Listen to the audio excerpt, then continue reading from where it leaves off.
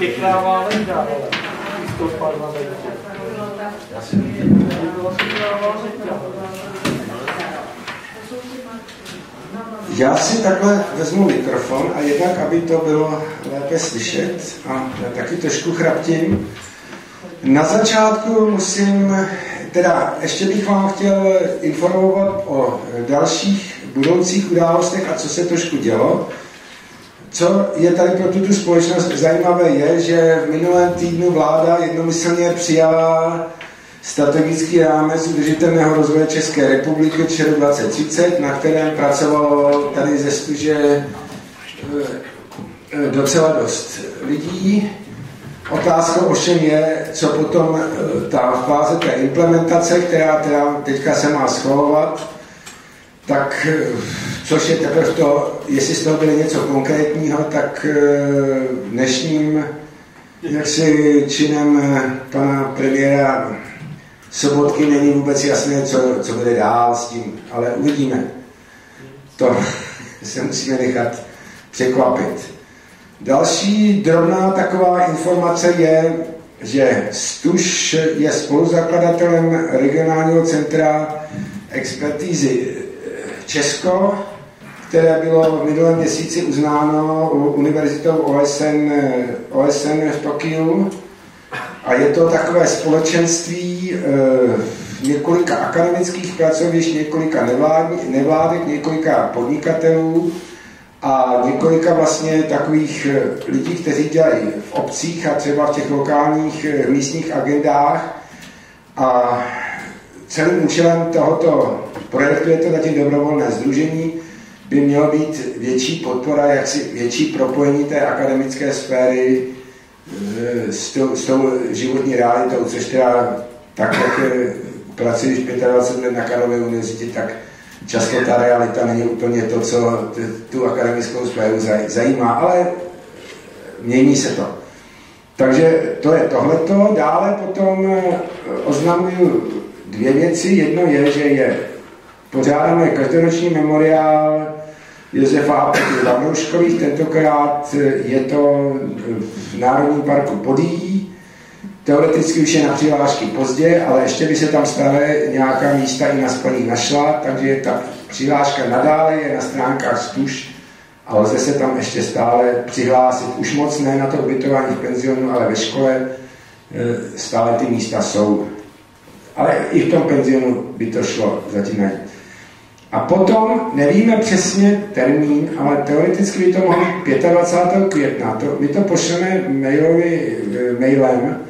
Bude snad beseda s první českou velvyslankyní, při, eh, pro, eh, velvyslankyní Evropské unie, která vlastně působila čtyři roky v Iráku, to znamená, vlastně to bylo jedno z nejvýznamnějších velvyslaneckých míst. Tam, kde má vysloveně Evropská unie velvyslanectví, nyní je v Namíbii a v té Namíbii právě ona se musí dost silně zabývat e, životním prostředí, prostředím.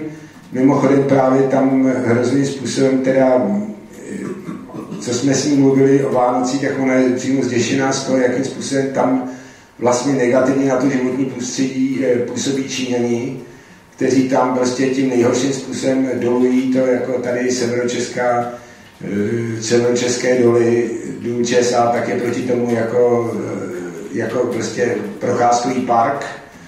Zrovna tak tam jako loví, aby ty lidi, co pro ně pracují, aby se uživili, tak jim dávají nějaké sítě v těch řekách, že, že potom tam vyloví úplně všecko a nezůstane tam nic a podobně. Takže doufáme, že se nám povede zorganizovat tu besedu, pošleme to mailem, dáme to na web, víc teď nevím. Tak, a to je snad všechno pro, pro teď. A černová beseda, která se bude konat kolikátů černa, nevím, ji nikdo neví. Bude věnována eh, jaksi hygienickým problémům eh, automobilové dopravy ve městech, zejména, zejména teda znečištění ovzduší a možností jaksi opatření, eh, jak tomu rozumně zamezit a také snad eh, bychom se měli částečně věnovat i hluku, který velmi úzce souvisí. Je to věc, která je docela silně podceňovaná.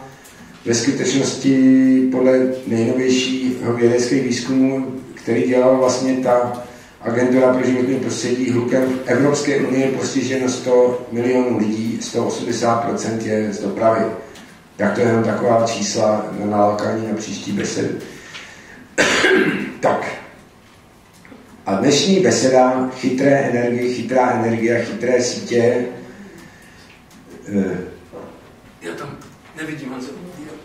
Dnes jenom jednu drobnost, že nedávno sněmovna vědomě zpracovala stavební zákon, jeho zákon z máme stavební řádu, teď to do Senátu, kdo máte možnost, snažte se to nějak ovlivnit, aby to neprošlo. Děkuji.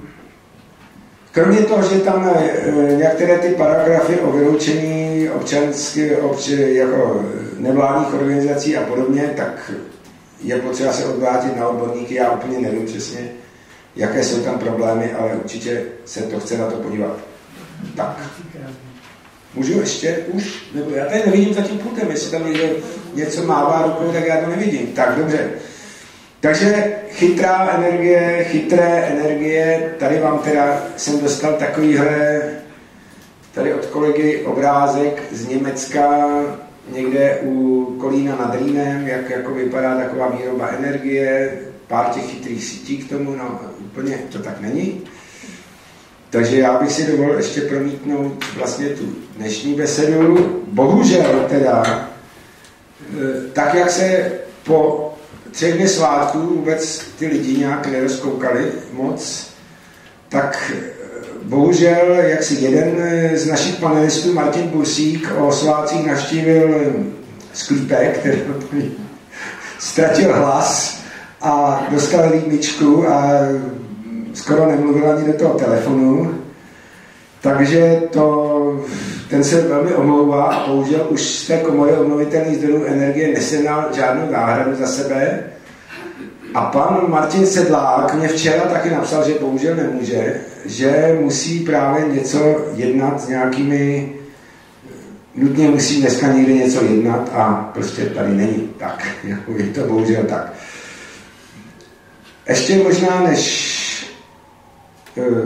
začneme to vlastní téma, který bych tak jako jak působí, jak funguje chytré prosazování energie, jste si mohli možná v posledním respektu všimnout krásného celostránkového inzerátu Vršanské uhelné Tykačovi, kde tam vykládá, že ve větrném Věníkově je, Věníkově je vítr dobrý tak akorát na pouštění draků a že každá domácnost platí ročně 10 tisíc na, ty, na tu větrnou energii.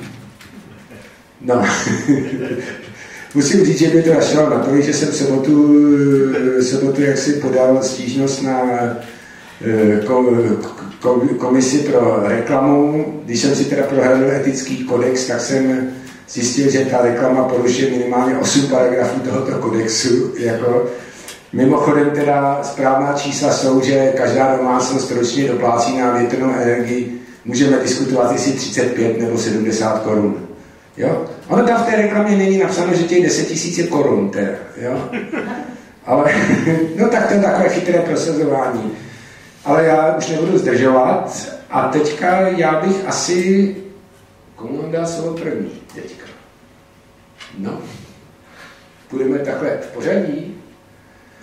Pan Petr Holub, šance pro budovy. Dobře, tak já děkuju, mám to mikrofon teda radši. Uh, já ne, není to úplně nutný, to, ještě jsem, Nahráváme, chtěl, že ještě jsem chtěl říct dvě věci, nahráváme to takhle vlastně jako pokaždé to nahráváme, nesestříhaný záznam dáváme pro ty, co nemají čas, tak dáváme na web. A kromě toho, když nám dáte svoje prezentace, tak je na ten web dáme, dáme taky, vždycky k tomu záznamu. A když tě, pokud s tím nesouhlasíte, tak řekněte, já třeba tu kameru budu vypínat. se mám posmívat, konce kamera tady je.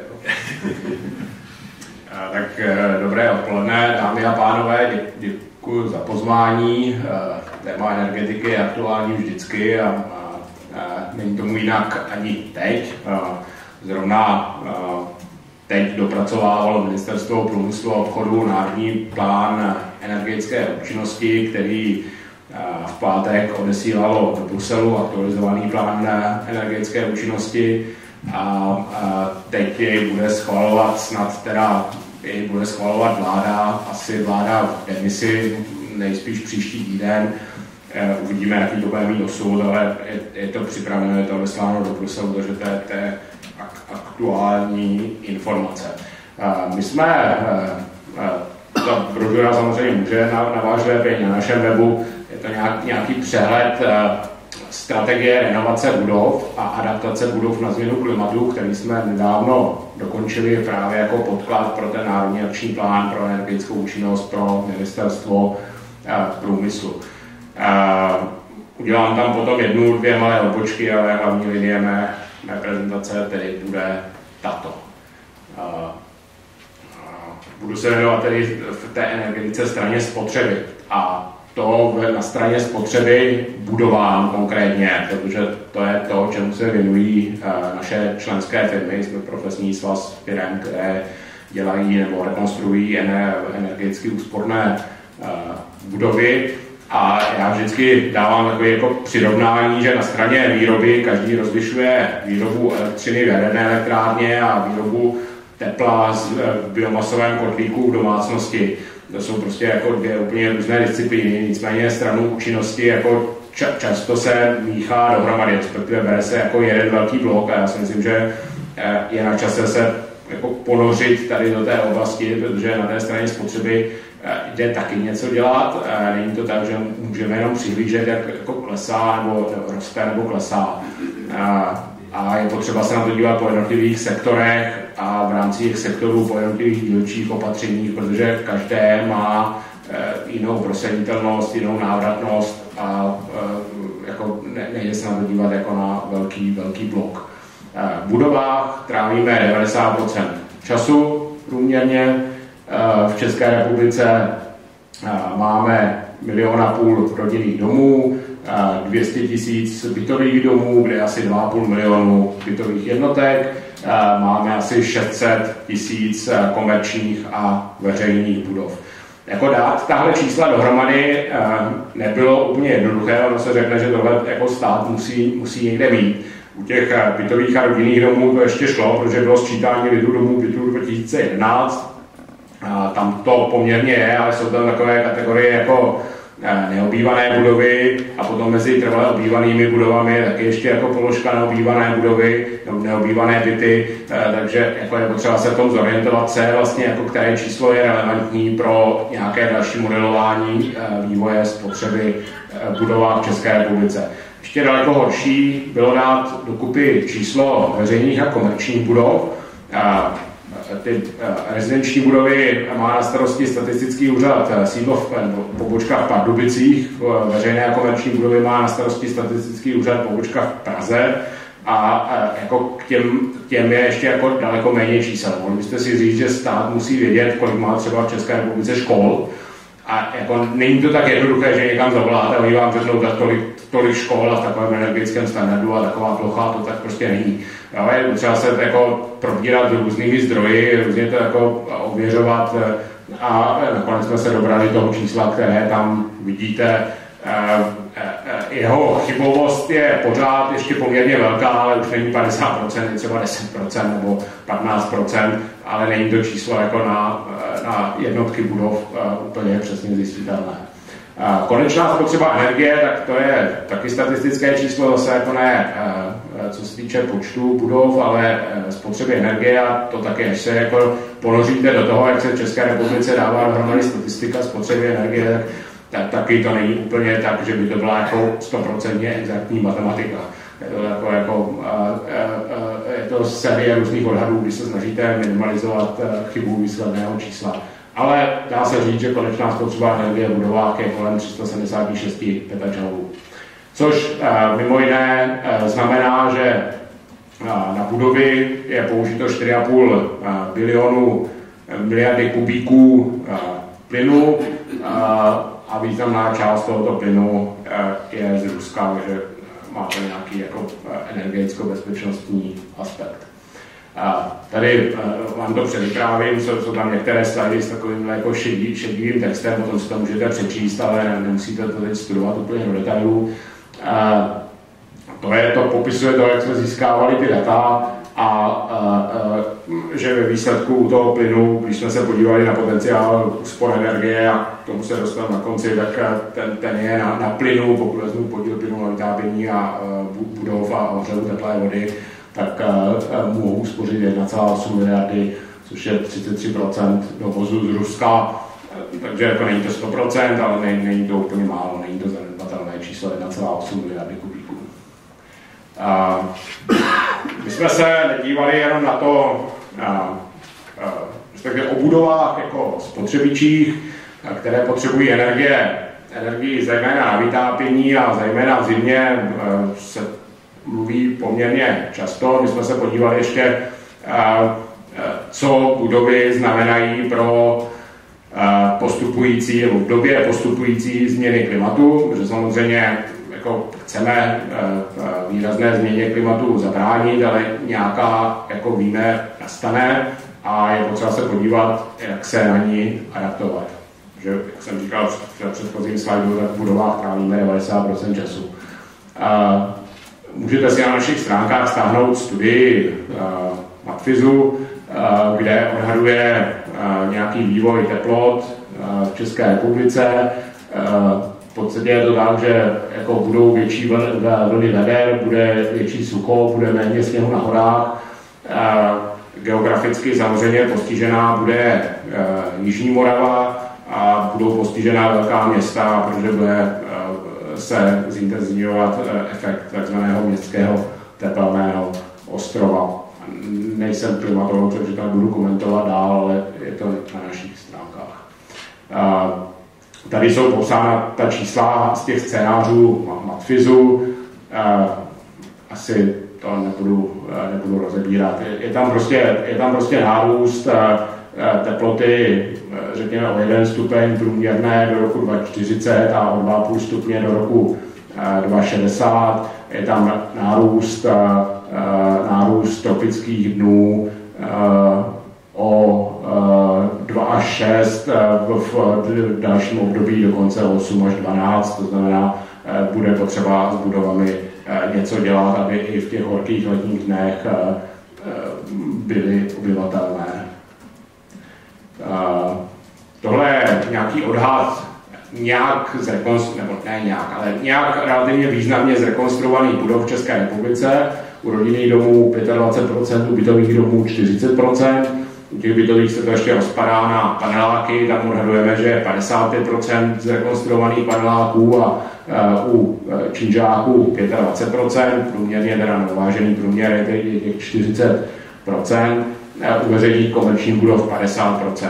Je to nějaký odhad, víme z posledního šetření Energa, které bylo publikováno teď nedávno, měsíc, dva zpátky, eh, že eh, například vyměněná okna má více budov, nicméně my jsme brali budovy, které jsou nějakým způsobem jako vyměněná okna a zateplény, aspoň obvodové stěny nebo střecha, je na té budově uděláno už jako eh, ne jenom jedno opatření, ale více opatření. Ale zase jsou to čísla, která jsou, eh, mají nějakou relativně vysokou chybovost a dá se o nich diskutovat.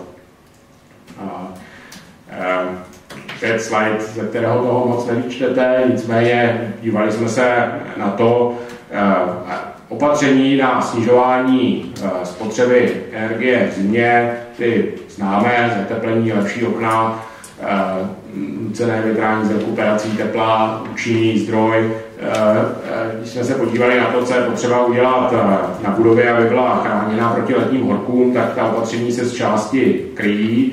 Znamená, aby pokud máte dobře izolovanou budovu, okna, stěny, tak v zimě drží zimu venku a v létě drží teplou venku. Znamená, to je opatření jako zhodné pro léto i zimu, pro obyvatelnost budovy, zajištění lepšího vnitřního prostředí jak v zimě, tak v létě. Co je e, pro léto specifické, třeba stínění, pokud máte jižní okna, tak samozřejmě musíte, ideální, pokud v létě jsou stíněná, v zimě mají e, e, solární zisky. Důležité je také zajistit větrání a to jak kvůli případnému nočnímu předchlazování, tak kvůli prostě přísunu čerstvého vzduchu, protože v řadě případů, pokud se vymění okna, tak se na to větrání zapomíná. Potom jako ve školách jsou neúplně hygienické podmínky, ve kterých se ty děti prostě nemůžou dobře učit. Už tady vidíme, tady snad tady je klimatizace, ale větrání tady není, ne? Tuším. Jo, takže tady těsná okna tady jsou, takže já si myslím, že kdybych tady měl měřák CO2, tak už teď tady máme jako přes 2000 a pokud si nevyvětráme, tak za půl hodiny tady budeme mít podle mě tři a půl tisíce a kdo z vás jako bude ještě poslouchat, tak to bude jako to je hrdina, protože prostě jako e, přirozená lidská bytost jako v tomhle prostředí pustá. Uh, jo, to, to, to pomůže o něco málo, o, nějaké, o nějaké stovky, stovky ppm koncentrace CO2. Uh, co, co je důležité například pro uh, zabránění nebo minimálně smírnění uh, uh, síly městských tepelných ostrovů je aplikovat vegetaci na střechy, fasády, protože ta prostě přirozeně ten, ten uliční prostor ochlazuje a může ochlazovat i tu budovu samotnou. Když se podívám na podporu úspor energie, ale eh, možná i těch adaptačních opatření v České republice, tak eh, je vidět, že je eh, rozdělená do mnoha programů. Rezortismus v České republice funguje a to jako, velmi, velmi silně. Když máme srovnatelnou tabulku pro Německo, tak je tam jedno velké poličko, je tam prostě německý, německý program KHV, německá banka KEV, která poskytuje podporu úsporám energie eh, pro všechny typy budov. V České republice je to rozděleno, pro rodinné domy víme, že máme novou zelenou úsporám, ale eh, výměna zdroje už zase není z nové zelené úsporám, ale je z dotací, to znamená z OPŽP. Pro bytové domy v Praze renovace je nová zelená úsporám, pro bytové domy mimo Prahu je integrovaný regionální operační program, který jste možná zaznamenali, že jsme někdy před měsícem dvěma kritizovali, protože byl nastaven tak administrativně složitě, jako když město staví stadion, eh, a ne když se jako eh, tři pánové dámy, kteří se jednou za eh, kvartál potkávají v kočárkárně, rozhodnou zateplit svůj bytový dům o 10-15 bytových jednotkách, takže tam se povedlo teď jako nějak eh, snížit tu administrativní zátěž, uvidíme, jestli se povede ten program uh, rozhýbat. Ministrině si to bohužel moc uh, neuvědomovalo ten problém. Uh, veřejné budovy uh, máme v operačním programu životní prostředí, ale v Praze také v operačním programu Praha pol růstu. Uh, komerční budovy jsou v operačním programu podnikání inovace pro konkurenceschopnost, kde bohužel první výzva eh, eh, svým bodovým hodnocením v podstatě projekty na úsporách energie v budovách exkludovala. Teď je to nastaveno dobře, ale pan náměstek je trošku nervózní, že se nezačalo tolik čerpat. Je dáno tím, že tam je bodové zvýhodnění pro projekty, které mají stavební povolení, to znamená většina projektů čeká, než dostane stavební povolení, aby si zažádala. Do programu podpory, hlavně teda na ministerstvu životního prostředí, se postupně dostávají i, eh, dostává i podpora adaptačních opatření. A eh, já jsem ještě neřekl, že jedno z těch adaptačních opatření je například zajistit kvalitní hospodaření s dešťovou vodou a, eh, šedou vodou. Zrovna dneska vyhlašoval minister Brabec program Dešťovka, která vlastně tohle nějakým způsobem zajišťuje jiná ministerstva bohužel zatím takovéhle dodatky těch svých programů nemají. Stavební zákon, tak to je téma, které tady bylo zmíněno a diskutováno. My se na to díváme z jiného pohledu. My se na to díváme z pohledu toho, že třeba požadavky na energetickou náročnost budov jsou docela dobře uvedeny v zákoně o hospodaření energií a jeho vyhláškách, ale stavební úřady tenhle zákon jak kdyby neznali, nebo prostě pro ně neexistuje. Pro stavební úřady, pokud není něco napsáno ve stavebním zákoně o vyhláškách, tak kdyby to neexistovalo. Takže my se teď jako budeme snažit, ale asi až při té příští novele se říká jako nový zákon stavební, snažit, aby to, co máme v zákoně o hospodaření energií, bylo jako de facto ne, ne nová povinnost, ale přepsáno do zákona stavebního a do vyhlášky o technických požadavcích na, na, na výstavbu na stavby, protože bez toho to ty úředníci na stavebních úřadech ne, nerespektují. Víme, že mezi dubnem 2013 a červnem 2015, to znamená dvě, dvě a čtvrt roku, byla pro novostavby povinnost mít závazné stanovisko od státní energetické inspekce, že plní energetickou náročnost. Těch závazných stanovisek za toho dva a čtvrt roku bylo vydáno něco přes tři tisíce. Novostaveb za tu dobu bylo asi 30 tisíc. 90% novostav, novostaveb z těch dvou let má spochybnitelné stavební povolení. To je jako prostě to je strašný, to je prostě úplně strašná zpráva o tom, jak fungují stavební úřady. Jo? Na těch, na těch dvojkových, trojkových obcích. Jako ne, nefungují jo? v oblasti, v oblasti hospodaření s energií. Takže to je věc, kterou se budeme snažit změnit, zároveň zajistit, aby stavební úřady nějakým způsobem kontrolovali, že nedochází nebo nebude docházet k letnímu přehřívání, že má budova zajištěno hospodaření s vodou, Eh, které bude funkční, když té vody bude nedostatek a podobně a podobně. Tady je jeden příklad budovy adaptované na změnu klimatu, je sice z Rakouska, v Česku už máme, ale měli jsme nějakou mini studii budov v zahraničí, tak jsme eh, vzali tento pasivní dům z Rakouska. A teď se dostávám eh, k té jako koncepční rovině a to jsou scénáře renovace budov, to je konečná spotřeba energie. Konečná spotřeba, jak víte, tak v České republice je počítána včetně obnovitelných zdrojů, to znamená, tady není vlastně započten efekt eh, místních obnovitelných zdrojů, pouze snížení spotřeby. Je tam nějaký scénář modrý, kdy říkáme, že takhle bude vypadat spotřeba Eh, energie v budovách, pokud stát nezasáhne a lidé si nějak jako svévolně budou doma eh, spořit energii, protože ta úspora nastává. Teplárny říkají, že zhruba 1% ročně snížení odběru o 1% ročně je způsobeno eh, úsporami energie, 1% zhruba odpojováním, ale v zásadě tohle je jako křivka, eh, včetně započítání novostaveb, jo, kde máme přírůstek podlahové plochy na osobu, protože prostě ještě pořád nejsme na průměru EU a ještě pořád tady bude asi demografický vývoj. Sice nás bude ubývat, ale každý budeme průměrně žít na větší ploše, to znamená, ta plocha budov bude ještě do budoucna e, e, e, poroste. Jo? Je tam nějaká demolice započtená na druhou stranu, ale je to nějaká jako křivka, jak se bude spotřebovávat energie tady, když stát nezasáhne. Ta křivka na druhé straně, zelená, to je naopak jako nejprogresivnější scénář, pokud bychom poměrně brzy kolem roku 2020 začali renovovat 3% budov ročně a poměrně důkladně.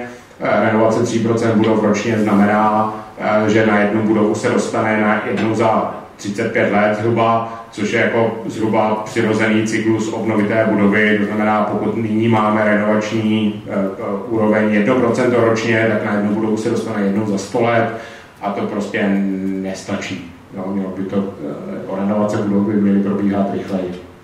Tam ještě uh, ty scénáře mezi jsou s nějakými jako jinými jako předpoklady v tom intervalu mezi scénářem 1 scénářem 5. Zajímavé je, zajímavé je to protnutí scénářů 2 a 3, kdy vidíte, eh, že, nevím, jak jsou moc vidět ty barvy, s, mými oči, s, s mou eh, lehkou barvoslepostí moc ne, nicméně eh, scénář červený je rychlá, ale mělká renovace a je vidět, že ty úspory nabíhají rychleji ze začátku.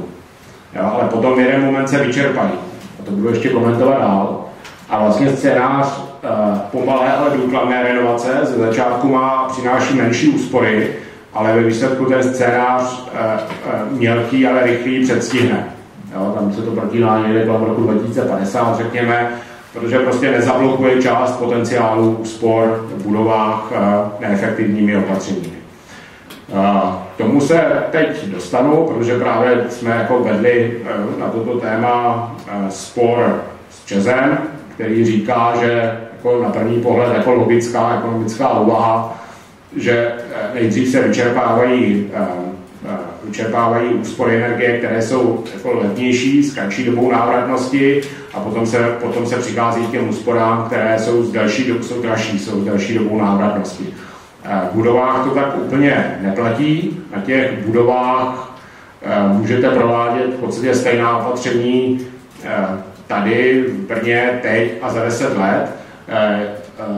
Rozdíl je v tom, že ten, ten schovaný Eh, schovaný problém je v tom, že tam nastává eh, tržní selhání, které není čistě ekonomické, a to je jako povědomí občanů o tom, co s tou budovou lze dělat. Zároveň je tam eh, jakýsi přirozený cyklus obnovy, kde samozřejmě, pokud máte pět let stará okna, tak je nebudete měnit hned za nová, počkáte dalších 20 let a potom, potom je případně vyvíjíte za nová úspornější.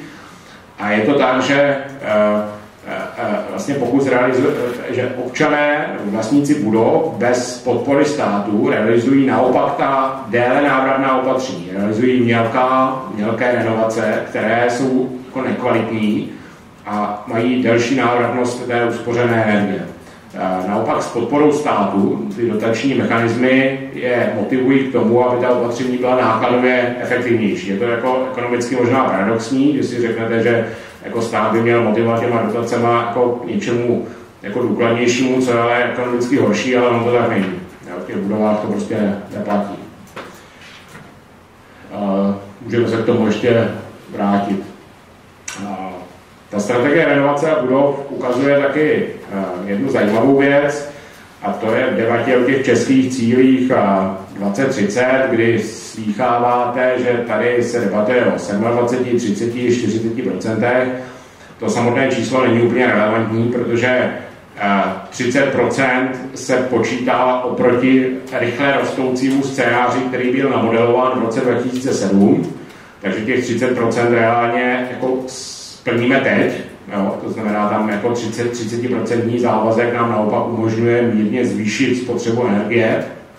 Ale pokud se podívám na jinou část té směrnice, ve které se to debatuje, tak ta zřejmě uloží České republice povinnost spořit za 10 let, mezi lety 2020 a 2030, 65 petajoulů konečné spotřeby energie a to je přesně to, co máme na tom scénáři 4, ani ne 5, v tom nej, nejprogresivnějším, ale scénáři 4. To znamená, ten český závazek je splnitelný pouze v budovách, i když odhlédnu od průmyslu, protože chápu, že průmysl má prostě eh, jiná specifika a nelze eh, to, že se zruší výroba něčeho, přesune někam jinam, považovat za plnění cíle v eh, energetické účinnosti.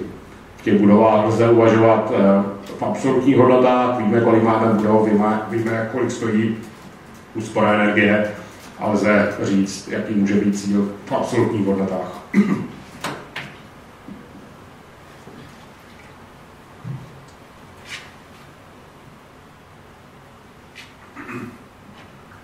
Ve sklidku jsem nebyl, ale už začíná být podobně jako Martin Bursík.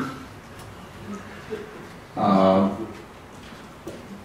co je jako důležité, je, že vlastně jako renovace budov můžou být motorem pro ekonomiku. My jsme měli, abyste možná viděli, kdysi nějaké, nějaká čísla zpracovaná panem Zámečníkem. Teď máme ještě jako novou studii, kterou jsme teda tendrovali a zase jako vyhrál teda v tom tendru pan Zámečník s panem Lhotákem. A ty říkají, že Eh, vlastně ten scénář 4, který považujeme za jako progresivní, ale realisticky splnitelný, ten scénář 5 je jako, jako idealistický, tak ten by přinesl 55 eh, tisíc pracovních míst eh, jako ročně, nebo jako pořád, není to nějaké, nějaké kumulativní číslo a mohl by znamenat až 1,5% k HDP, českému HDP. To znamená, pokud jsme na plus 2% růstu, tak pokud by nastal tenhle scénář jak jsme na 3,5%. Samozřejmě to znamená lepší zdraví, odpočinek, vyšší produktivitu. Co je zajímavé, tak jsme se nedívali pouze na ty přínosy na úsporách energie, ale dívali jsme se na přínosy na produktivitě práce v budovách, které se nepřežívají, které jsou adaptované na změnu klimatu. Znamená, zimě tam nefouká a v létě tam není 40 stupňů v té budově, tak eh, ten kumulativní rozdíl v té eh, přidané hodnotě, které, kteří vytvoří lidé pracující v těch budovách, je k roku 2060 až 800 miliard rozdíl. A to je popsáno tady na nečitelném slajdu. A to je všechno. Tak to byl můj úvod. Potom asi po přednášce ostatních to můžeme ještě chvíli diskutovat. Děkuji. Tak já, já děkuji moc krát. Možná, že mám jednu takovou eh, otázku, jenom drobnou, když jsme to nazvali chytré energie. Rýsuje se v, teďka v nějaké dohledné době nějaké zajímavé řešení, nové, nové technické, které by těm budovám pomohlo? Tak eh, na té straně konečné spotřeby, jako tam většinu těch technologií a materiálů máme. Tam je bariéra eh, spíš jako politická, ekonomická nebo informační. Eh, co se ty, jako samozřejmě ty materiály se pořád vyvíjí, takže se jako vylepšují jejich vlastnosti, ale nedá se u nich čekat asi úplně skokové vylepšení. To, o čem jsem nemluvil, o čem by asi mluvili pánové Martin a Martin, pokud by dorazili, tak je Eh, obnovi, lokální obnovitelné zdroje, ty tam jaksi v těch scénářích nemáme. Viděli jste, že ty naše scénáře klesaly na minus 55, minus 60 spotřeby. Pokud bychom eh, využili lokální obnovitelné zdroje, tak můžou ty scénáře, ale to tam nemáme namodelováno, jít dle mého i na 8, minus 80, minus 90% spotřeby určitě. A myslím si, že to, co nastalo v roce 2009, což jako v České republice bohužel jako všichni víme dobře, jako eh, s fotovoltaickými panely má výrazný pokles ceny díky tomu, že naběhla jejich výroba ve větším, ve větším objemu, tak eh, to se asi dá předpokládat v horizontu, a nevím, nejsem věštec, ale prostě v horizontu asi myslím 3-5 let u skladování energie, a v momentě, kdy jako ty baterky nebo nějaký způsob skladování energie nebo síť, která to umožní a bude fungovat jako buffer, eh, bude tady jako fungovat, tak si myslím, že jako nastane boom eh, rozvoje solární energetiky na střechách, na střechách domů a minimálně v oblasti domácností budou pokrývat eh, velkou část spotřeby energie, tak to si myslím, že je teda mimo čistě náš obor, ale jako na budovách něco, co jako se dá čekat v tom horizontu, nevím, třeba 3-5 let. Tak já děkuju. Teďka krátký dotaz ještě, potom dáme až... Dva krátké dotazy. Jednak bych chtěl se zeptat zateplení paneláků, kolik jsou průměrné úspory na, na vytápění. Protože někdo říká 30%, to zase No, záleží na kvalitě. Tak, jako, a, moje moji rodiče si zrekonstruovali rodinný dům a šli se spotřebou na minus 87%. Jo, byla to jako investice přes milion, jako milion 400 eh, tisíc. Zná, byly to jako v podstatě veškeré našetřené prostředky, ale jako je to důchodová reforma, protože prostě jako šli na minus 55 tisíc eh, ročně dolů, to znamená, to já nevím, dva, tři měsíce jako důchodu. Že jo?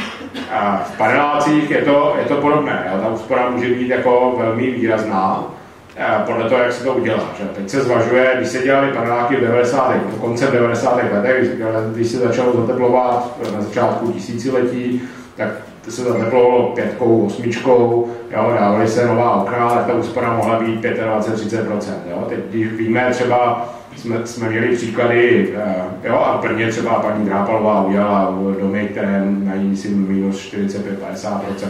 Jo, ale teď jako jsou třeba příklady, kdy se dá i na 60-70% úspory, eh, Jo, důležité je nějakým, vím, že Ekovat eh, dělal, když jsem na ministerstvu životního prostředí, tak Ekovat dělal projekt BAV na zajištění nuceného větrání z rekuperací. Jo, jako v tuto chvíli já bydlím v pasivní bytovce, tady v Praze, a jako topíme v podstatě, když je venku jenom jako minus 5 a méně. Jo? Když je venku minus 2, minus 3, tak máme doma 22 stupňů. A to jako není důvod v podstatě, proč to neudělat z toho paneláku. Samozřejmě důležitá je orientace, takže možná ten panelák to nemůže dosáhnout až tak jako, jako lehce, ale jako jít na takovéhle spotřeby jako je reálné, když se to udělá pořádně. ještě ten druhý dotaz krátký, jestli už se zkoušelo někde na plochých střechách paneláků vybudovat eh, nízké nádrže na vodu, že by, dala, že by to izolovalo, samozřejmě v létě na podzim jaře, a ta voda, že by se dala používat potom rozvody jako na WC. Že by se, že by se, no, jako, jestli se to už někde zkoušelo. No, přiznám se, že nevím. Vím, že jako docela jako vymakané hospodaření s vodou má tady třeba Mosaic House na Karlově náměstí, to je jako hotel, ale jako v podstatě typově je to jako bytový dům de facto. Jo, a ten jednak sbírá dešťovku, ale přiznám se, že nevím kde teda. Já mám pocit, že spíš někde jako dole, že, že to, jako, že to se jako svádí dolů využívá tu dešťovku a potom ještě využívá šedou vodu, kdy prostě ze sprch, voda se jde do sprch, tak se přečišťuje, jednak odevzdává teplo a jednak, ode, jednak se přečišťuje a jde zpátky do záchodu, zachování. Jo, takže jako, pardon, přesně ten systém jako neznám, ale vím, že tam jako to eh, hospodaření s vodou je poměrně vymakané a jestli někde nějaký jiný příklad, to se přiznám, že nevím. Ale jsou to přesně jako ty eh, nástroje, které má cenu aplikovat a nevím, jak moc teda se dají, v jakém rozsahu, ale nějak se určitě dají.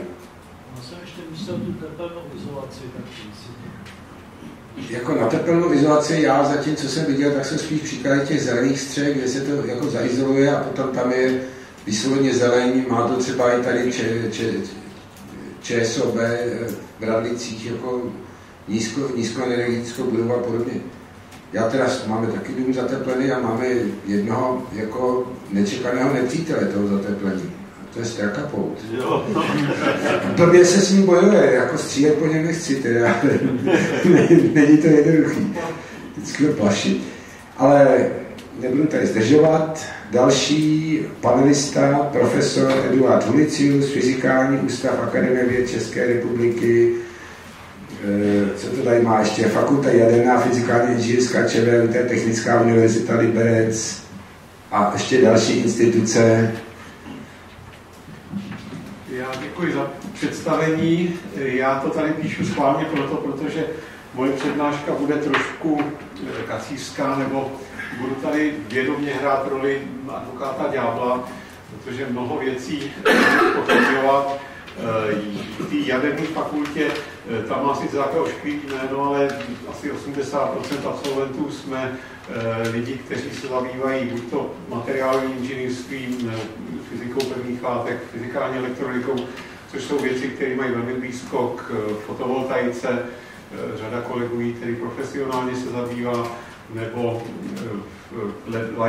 k ledkám, k diodám, které emitují světlo, polovodičovým laserům a podobným věcem, které eh, jsou tedy jaksi na druhé straně toho eh, té špinavé energetiky nebo, nebo rizikové energetiky jaderné. Samozřejmě je tam i katedra jaderných reaktorů, která ale k mému velkému překvapení má stále velice málo absolventů. Takže řada lidí, kteří dělají na elektrárnách, jsou odjinut z elektrofakult a eh, ze strojíren, ze strojařin a podobně. Takže to by bylo k tomu úvodu. Já tady začnu tím dělat, já jsem omlouvám část těch, já jsem dělal na poslední chvíli, já Jirkovi slíbil, že jsem přijdu na panel, že něco si připravím a samozřejmě jsem na to zapomněl a včera jsem večer přijel z Bruselu, takže jsem dneska dopoledne udělal kompilát ze svých přednášek několika právě, který mám na těch různých školách a fakultách, kde přednáším hlavně o nanotechnologiích, ale je tam i řada věcí samozřejmě z toho oboru nano, co se týkají jak eh, fotovoltaiky, tak eh, těch light emitting diodes, o kterých bych chtěl mluvit. Část mý přednášky bude taková jako poučná, všeobecně vzdělávací. Omlouvám se za obrovský množství slajdů, budu je hodně rychle eh, přeskakovat a probíhat. Začátek mám taky takový trochu filozofický. Prosím vás pěkně, já jsem dělal, mám do teďka vždycky problém, když čtu nějaký přesný, konkrétní, jasný data, modely, eh, ať je to klima nebo eh, vývoj eh, přírody, různých poškozování, všechny možné tyhle scénáře jsou na mě příliš, příliš složitý.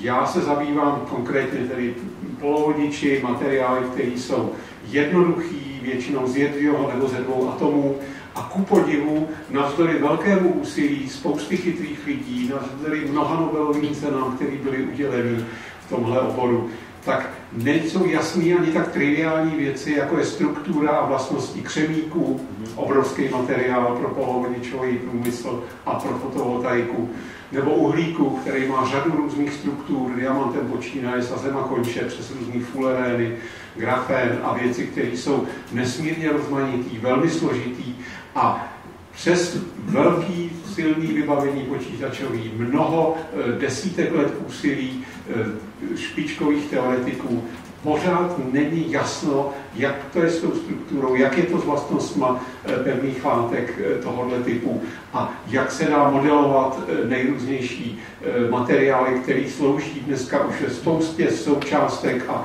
je to vlastně základ moderní, moderní elektroniky, optoelektroniky, fotoniky a podobně.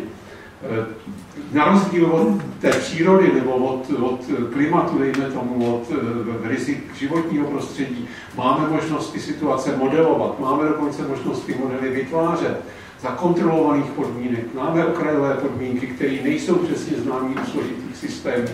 Takže tady Prostě nejde to přesně, je obrovské množství úspěchů, výsledků, predikcí, které fungují, které se ověřují. Eh, tady ty výpočty nejsou ani daný těma okrajovými podmínkami, jak se tomu říká, efekt motýlího křídla, že někde daleko se něco stane a ovlivní to prostě eh, celý svět nebo prostě nečekané věci. Tak tomu není. To motýlí křídlo takhle nefunguje, protože svět nefunguje jako kauzálně a není atomistický, tak to jsou představy starý 120-150 let. Dneska víme, že svět se popisuje pomocí kvantové mechaniky, která je statistického původu. Statistický chování těch všech procesů vede k tomu, že, že malý efekt se během velmi krátké doby prostě eliminuje. Takže takový ty celkový trendy neovlivní někde nějaká malá změna. To je e, věc, která je poměrně jasná ze základů moderní fyziky. Proč si to nemůžeme modelovat tyhle ty, ten nanosvět a ty struktury, o kterých já budu tady mluvit, tak to je proto, že to funguje jinak, než jsme zvyklí. Náš svět je prostě jiný. Náš svět našich smyslů je takový ten, ten makrosvět nebo střední svět. My neumíme si představit ty vzdálenosti e, mezi galaktický a neumíme si stejně tak představit jako svět atomů od úrovně nano, kde se začíná to všechno úplně jinak. Takže tady e, já jsem se sám mnohokrát spletl, zvlášť s potěšením vidím, když se spletou eh, kolegové. Tady je pár příkladů, eh, který teda jsem uvedl. Je to eh, před těma 40-50 lety, kdy jsem začal aktivně jako pracovat vědecky nebo studovat, tak tehdy nám bylo většině jasný, nebo ti moudří kantoři, kteří nás učili začátky počítačů, že bude jeden velký počítač. Byla otázka, jestli pro univerzitu, nebo pro ústav, nebo pro město. A každý bude mít na stole terminál, protože nesmysl, že by měl každý počítač. Vůbec nepředstavitelný bylo, že by každý měl na stole něco takového, co představovalo řádově, mnohořádově větší výkon a kapacitu, než byly tehdejší obrovský počítače do celých místností. To, to funguje jinak, jak dneska všichni víme. Dneska má ten velký počítač v kapse člověk. Další osobní zážitek, když jsem začínal, tak eh, někteří z nás tedy mohli pouze na východ. Já měl to štěstí, že jsem byl dvou ruských nobelistů, tak když jsem byl v Moskvě, tak tam v 70. letech začaly vyvíjet optické komunikace na opravdu velké vzdálenosti. Dneska kdokoliv eh, mnohokrát denně spouští stovky až tisíce polovodičových laserů a prožene ty svoje jaksi ťuky na klávesnici nebo myšlenky těch věd prožene po tisících kilometrech optických vláken, kterými se jsou propojeny dneska kontinenty, velký ústředny, velký prostě e, systémy výměny, internet a tak dále. Takže ta e, dnešní a tehdy již to začínalo a začínalo to fungovat na křemenných vláknech. A lasery na vlnových dílkách, které mají nejmenší útlum v těchto vlnových dílkách, to znamená 1,3, 1,55 pro velké vzdálenosti komunikací. A tehdy bylo jako těm pokročilým, probudilým eh, nebo znalým lidem bylo jasný, že tam je útlum daný Revyho zákonem a že prostě čím delší vlnová délka, čím menší energie fotonů, tím menší útlum, tím na delší vzdálenosti se to šíří. To znamená, musí se udělat jiné lasery než lasery gallium arsenidový na, eh, a vláknané na bázi křemene, ale na bázi fluoridu. A v tyhle ty věci se začaly jako vyvíjet a docela byly úspěšní první pokusy, v principu to všechno funguje. Dneska potom ani pes neštěkne. Ne, že by to nebylo možné technicky, ale nikdo to nepotřebuje.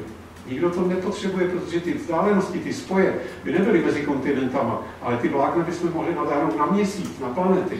A to je blbost, jo? Takže některé věci technického vývoje se nepoužívají, protože prostě potom není poptávka. Ať z tohohle důvodu, co píšu, nebo já si taky myslím, že další miniaturizace, to je, tady jsou další ještě teda dvě poznámky, tohle se, pardon, podařilo kolegům vysokoteplotní zpravodiče, to je úzce spojený s dnešním tématem chytré energie. Pokud by byly nestrátové nebo málo ztrátový transport energie, jsou dva velký problémy, za který se jako fyzikové, technikové musíme hodně stydět. Neumíme skladovat elektrickou energii, neumíme rozhodně skladovat elektrickou energii, umíme, máme akumulátory, každý to má dneska, ale ne ve velké množství, nebo ne účinně. A nebo za cenu velkých nádrží, přečerpávače a všeho, co má zase jako svoje problémy. Ale pořádná úložná energie s velkou účinností, ekologicky jako neproblematická, není. Lidi se po to staží, desetiletí, možná staletí, ale dosud se to nepodařilo. Za mého tedy raného mládí byly věci v ústavu byly velký, to si možná Jirka pamatuje, velký týmy lidí nebo velké úsilí na interkaláty, interkalace, ukládání eh, vodíku do tenkých vrstevnatých struktur, kam se do kubického centimetru vejdou tisíce kubických metrů plynu. Funguje to, je to tam uložit, je to vyčerpat do tam tať, ale špatně.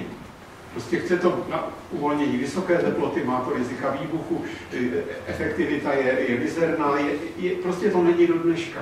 Principiálně tyhle věci, jako je spousta nápadů, ale řešení není. Druhý problém, který by vyřešil mnohé, i když jako s jistýma pro, potížema, protože by se musela ta energie transportovat po rovnoběžkách, nikoli po polednících, tam by určitý problém byl, jsou, e, je vedení vedení, který jde zakopat do země a který je bezestrátový, supravodiče, samozřejmě.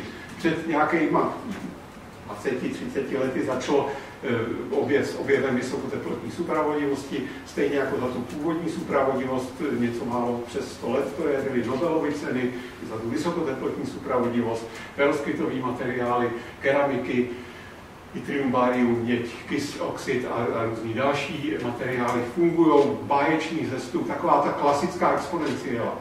Po deset let asi po objevu už bylo jasně, že pokojová teplota bude do pěti let dosažena. A ta exponenciála chytla takovou tu faleš energetické křivky a dneska už posledních deset let nebyl žádný nárůst teploty těchto materiálů.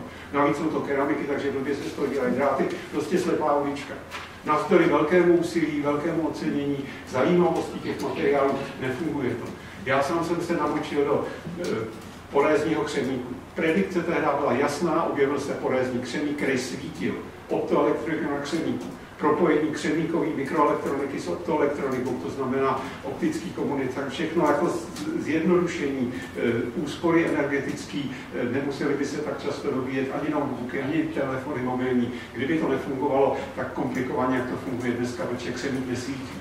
Nám se podařilo ten křemík rozsvítit, taky z toho byla v té době jsou mnohdy nejcitovanější svůj článek, jsou eh, na první stránce vesmíru, byl krásný kolečko při svítícího křemíku, slepá ulička. Dneska potom bez neštěkne, teda ještě se nějaký lidi tomu věnují, ale spíš jako fyzikálně ne, že by to byla aplikace. Takže jenom tohle je prostě moje, moje osobní eh, zkušenost eh, z předpovědí, které nevycházejí.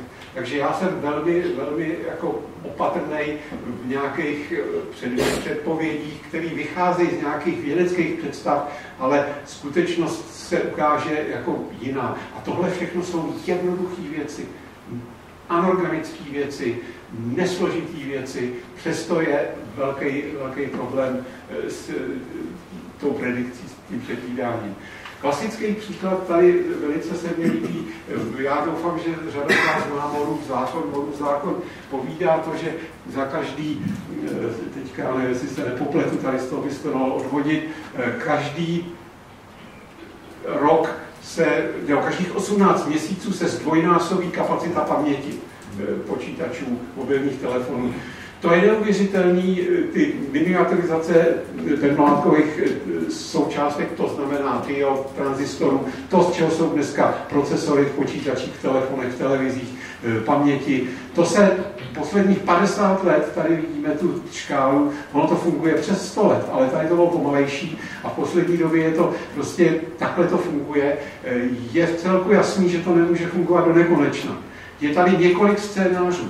Nikdo si není jistý, jaký ten scénář bude pravda. Já když přednáším studentům, tak říkám jako vy, to, vy se to dovíte, já už se to nedovím, jak to bude v roce 50, jak to dopadne s těma e, posledníma scénářema. Tady si to jako říká, netroufám, studenti se smějou, ale dneska opravdu si nikdo netroufne předpovídat, jestli to bude nějaká tvrdá ekonomická limitace, nebo fyzikální, nebo e, přechod na molekulární elektroniku. E, já tady mám další poznámku. Tady ten přechod od mikro k nano, je jasný, že i nejen ty pokroky, ta kvantovka tam hraje roli, i to třeba, když se přijde od mikroelektroniky, to znamená čtvereční mikron na součástku, na nanoelektroniku, tak jak vědci snadno spočítají, tisíckrát tisíc je milion, to znamená, milion paměťových prvků, milionkrát víc paměťových prvků na, na čipu, na procesoru, milionkrát větší paměti, rychlejší procesory, kratší vzdálenosti. Tohle všechno je obrovský efekt. Pak jsou tam další efekty, ty kvantově mechanické, ty fyzikální. E, tadyhle je nanometr. Rozměry atomů jsou někde atom ve že krystalu jsou kolem čtvrt nanometru. Čtvrtina nanometru je vzdálenost mezi atomárních rovin. Já dávám studentům takovou jako triviální otázku, jestli si dovedu představit atomární rovinu. Atomů. Rovina ty součástky si pořád zmenšují, ty struktury se zmenšují až na úroveň jedné atomární roviny. Dejte ještě míň, ještě připravit půlku atomární roviny nebo desetinu. Samozřejmě ta otázka je tak blbá, že ale studenti se často nenechají nachytat, jako říkají, tak kdyby to tak nešlo, tak se tak blbě ptát nebude, takže jako jde to. A teďka jako přemýšlíme, jak, tak ty trpaslíčky s majzlíkama, který by sekali atomy na půl, to navrhneme poměrně rychle. A pak ty studenti, kteří vědí, jako k čemu jsou ty roviny atomární, že to jsou vlastně e, potenciálové jámy na elektrony, tak vzácně některýho napadne, no co když neuděláme celou tu rovinu a dáme tam třeba jenom polovinu atomu, nebo desetinu atomu. Ty elektrony, které se tam pohybují, to cítí jako desetinu ploušťky té atomární roviny. Takže ani tahle ta zeď limit, že dá nemůže, než jsou rozměry atomů, může. Tím, že uděláme takovýhle trik například. Samozřejmě ty paměti jsou v ploše, tam je to jiná pohádka, ale tadyhle eh, ten příklad toho Morova zákona, který eh, je eh, překvapivě dlouho funguje, je to experimentálně, nemá vůbec žádný fyzikální jako důvod, je to směska tlaku na, na, na prachy, že jo, aby ty fabriky, co dělají ty procesory, vydělali, aby dávali nový a, a lidi to chtějí samozřejmě, ty si ty nový eh, výkonnější eh, počítače, výkonnější mobily kupují. Eh, podobně to funguje, a teďka se dostáváme už konečně k těm, k těm letkám, podobně to funguje pro light emitting diodes, které jsou, tam jde o něco trošku jiného, tam jde o cenu na lumen, lumen je jednotka výkonu optického a za dekádu, za deset let se 20 násobně optický výkon z jednoho z jednoho package, znamená jako balíček ten, toho přístroje, ta, ta ledka, ta dioda, která svítí, tak může být několika čipů, tak v tom případě se jedná teda o tohle eh, na, na, na to package. Eh, tady hned využiju toho, jak jsem spochybňoval ty predikce. Tohle vidíte, jako tohle se není můj vynález, tady to jsem převzal samozřejmě, tady je pár ukázek aplikací těch, těch ledek, eh, ještě za chvíli toho bude mnohem víc, a ta cena klesá domů, že to je přijatelný. Tadyhle máme, eh, všimněte si, 20 krát za dekádu stoupá výkon.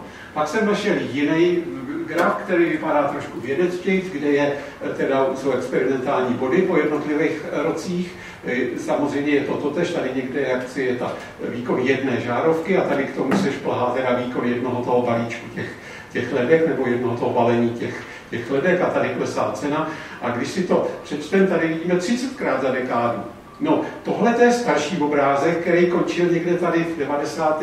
koncem 90. let Tadyhle ten předchozí obrázek je až do roku 2015 nebo 20, tady ta predikce, předpověď a místo těch bodů tady máme nějakou čáru, která vlastně ale je proložením těchto bodů.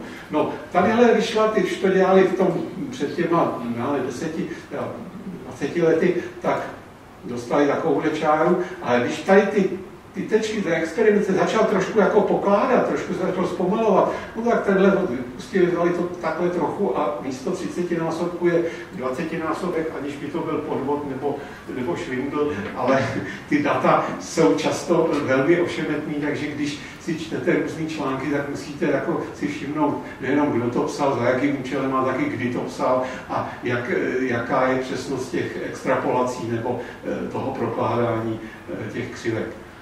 Tak tadyhle trošku té filozofie nebo e, vlastně typu té přednášky, tak e, co je strašně důležité, je konverze elektrické energie. Ať je to fotovoltaika se sluneční nebo s optický na elektrickou, anebo ty, ty ledky, e, kde je to obráceně, kde to je elektrický na optickou.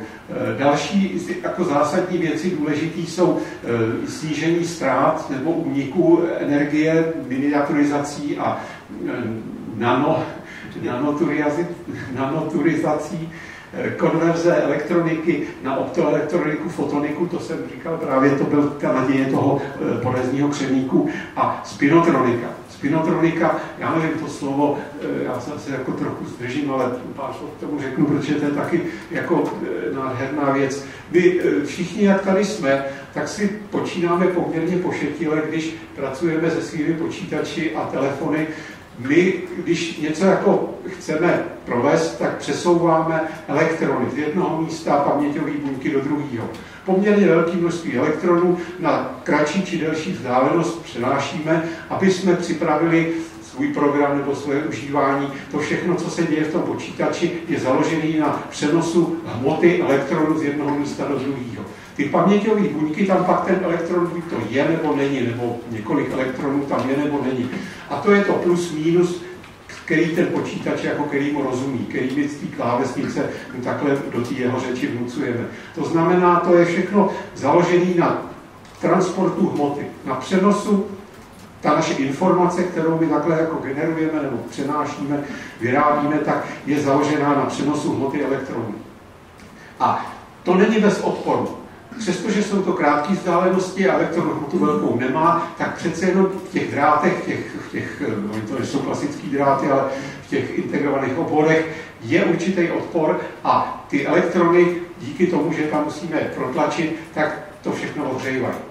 Zvyšuje to nároky na energii, zvyšuje to spotřebu a to z hlediska životního prostředí je docela nezanedbatelný, protože ty baterky mají omezenou životnost, nebo se pak vyhodějí, nebo se musí dobíjet, nebo je s tím problém. Když bychom tohleto eliminovali nebo snížili, tu náročnost, tak se řádovým způsobem desetkrát, možná stokrát sníží spotřeba notebooků, otravování, zdobíjení, telefonu a ze všeho.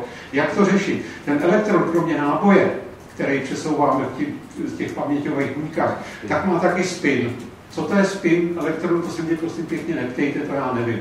Spin se jako ukazuje, že to je něco takhle, jako jo. Není to rotace elektronů spin up, spin down. Jsou dva stavy elektronů nahoru dolů. Proč tomu tak je? Popisuje to kvantovka, všechno to jako sedí, ale e, fyzika jako e, odpovídá na otázky jako fundamentálního typu. Takže elektron má kromě náboje, co je to náboj, taky nevím samozřejmě. Ale pro mě náboje ten elektron má ten spin a spin up a spin down jsou dva stavy. Jako ano, ne. Když bychom překlápěli magnetickým polem spin jednotlivých elektronů v paměťových buňkách, tak je nemusíme stěhovat. Tak máme prostě a tudíž ztrácet tu energii a tak dále, jenom na překlopení toho magnetického pole, která je řádově menší než, než na ten transport. Pracuje se na tom, kolega Jungwirth na tom udělal spoustu slávu, má svých 800 citlatí ročně, e, publikace na spinově halově jevu a, a tak dále, ale zatím to není. Materiály, které intenzivně kolegové studovali v e, oddělení vlastně bývalým, co pracoval Jirka, tak jsou nevhodný. Funguje, pracuje, při nízkých teplotách. Aby si každý jako do kapsy kapalný eh, dusík, aby to fungovalo, to nebude, takže to zatím není. Ale pracuje se na tom, možná to nebude slepá ulička, možná to hm, za pár let zařadím mezi další slepé uličky, ale eh, ta, ta konverze energie i až od těchto mini úrovní až do takových těch velkých, kde jde o účinnost fotovoltaických plagů, která je kruciální pro jejich budoucí úspěch. Tak, tadyhle teďka budu velmi rychle. Epitaxní techniky, to je způsob, jak si připravují tyhle struktury. Zásadní příprava je balkových monokrystalů. Takhle se dělá i fotovoltaika, křivníková fotovoltaika, fotovoltaika na gálium arzenidu. Udělají se tyhle obrovský baga, to jsou obrovský monokrystaly. Průměr 40 cm, délka metr, metr a půl, váha několik metráků. Jsou to, a na tu dílku, ten 1,5 metr, jedna atomární rovina vedle druhý. Ale připravuje se to při vysoké teplotě, což není tak strašná energetická náročnost, přestože to je 1000 až 2000, i přes 2000 stupňů některý krystaly, ale hlavní problém je, že tam je spousta defektů. Ty defekty se musí e, eliminovat. Eliminovat je moc dobře nejde, musí se dělat epitaxně, epitaxní technologie, která nás těch přirozených přírodních defektů a nečistot zbaví, protože to při, funguje při nízkých teplotách. Ty epitaxní techniky jsou dvě, molekulární epitaxe nebo epitaxe z molekulárních svazků a organokovová epitaxe. Jsou to takovýhle monstrózní stroje, které tady takhle ukážu, jsou drahý, jsou jako náročný. Jejich ekologická škodlivost není až tak velká, přestože se tam používají nejrůznější svinstva jako berylium a kadmium a tohle všechno. E, v těch strukturách je toho zabudováno málo, je to tam uvězněný, takže do životního prostředí to neuniká, přestože teda jedno je molekulární epitaxe ve vysokém váku, druhý je e, organoková epitaxe e, při plyná epitaxe vlastně z plynu, ale jsou to množství jaksi nano. Co se týče toho eh, využití, ta epitaxe orgánková je fundamentální pro průmysl. Eh, já tady nebudu popisovat, jak to přesně funguje. Ty stroje jsou poměrně podobně monstrózní, zaplní to celou místnost, stojí to několik milionů eur. Eh, v republice jsou dneska tři tyhle ty mašiny, dvě jsou na fyzikálním ústavu, jedna je v Rožnově ve fabrice, která se chystá na tom dělat dělat tranzistory vysokofrekvenční, vysokovýkonný, vysokorychlostní, já nevím co všechno, na jiný bázi než je křemí. Tohle to je stroj, na kterým se dělají light emitting diodes anebo polovodičový lasery pro optoelektroniku. E, vidíte, ta plocha je, je poměrně velká, je to několik decimetrů tady, e, kde se připravují struktury aktivní. Ten celý aparát je, je asi 5 metrů dlouhý, zhruba tohle.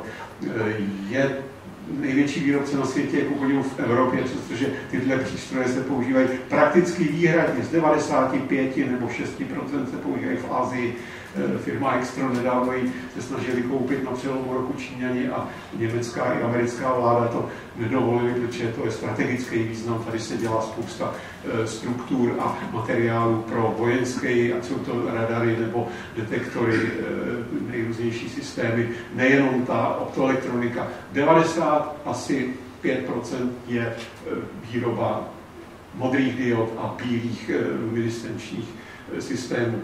Tadyhle zase o těch letkách, ten historie je překvapivě stará, 110 let, to je letos, kdy byla první elektroluminescentní dioda, pak to jako 50 let trvalo, než to začalo fungovat nějak, že se to začalo využívat a teprve posledních asi 20 let to začíná fungovat jako eh, masivní rozšíření, obrovské rozšíření pro eh, osvětlování, pro automobilový průmysl, pro podsvětlování televizí, notebooky, telefony, všechno je z 90% eh, založeno na ta, to světlo, to podsvětlení na těhle, tomhle typu diod.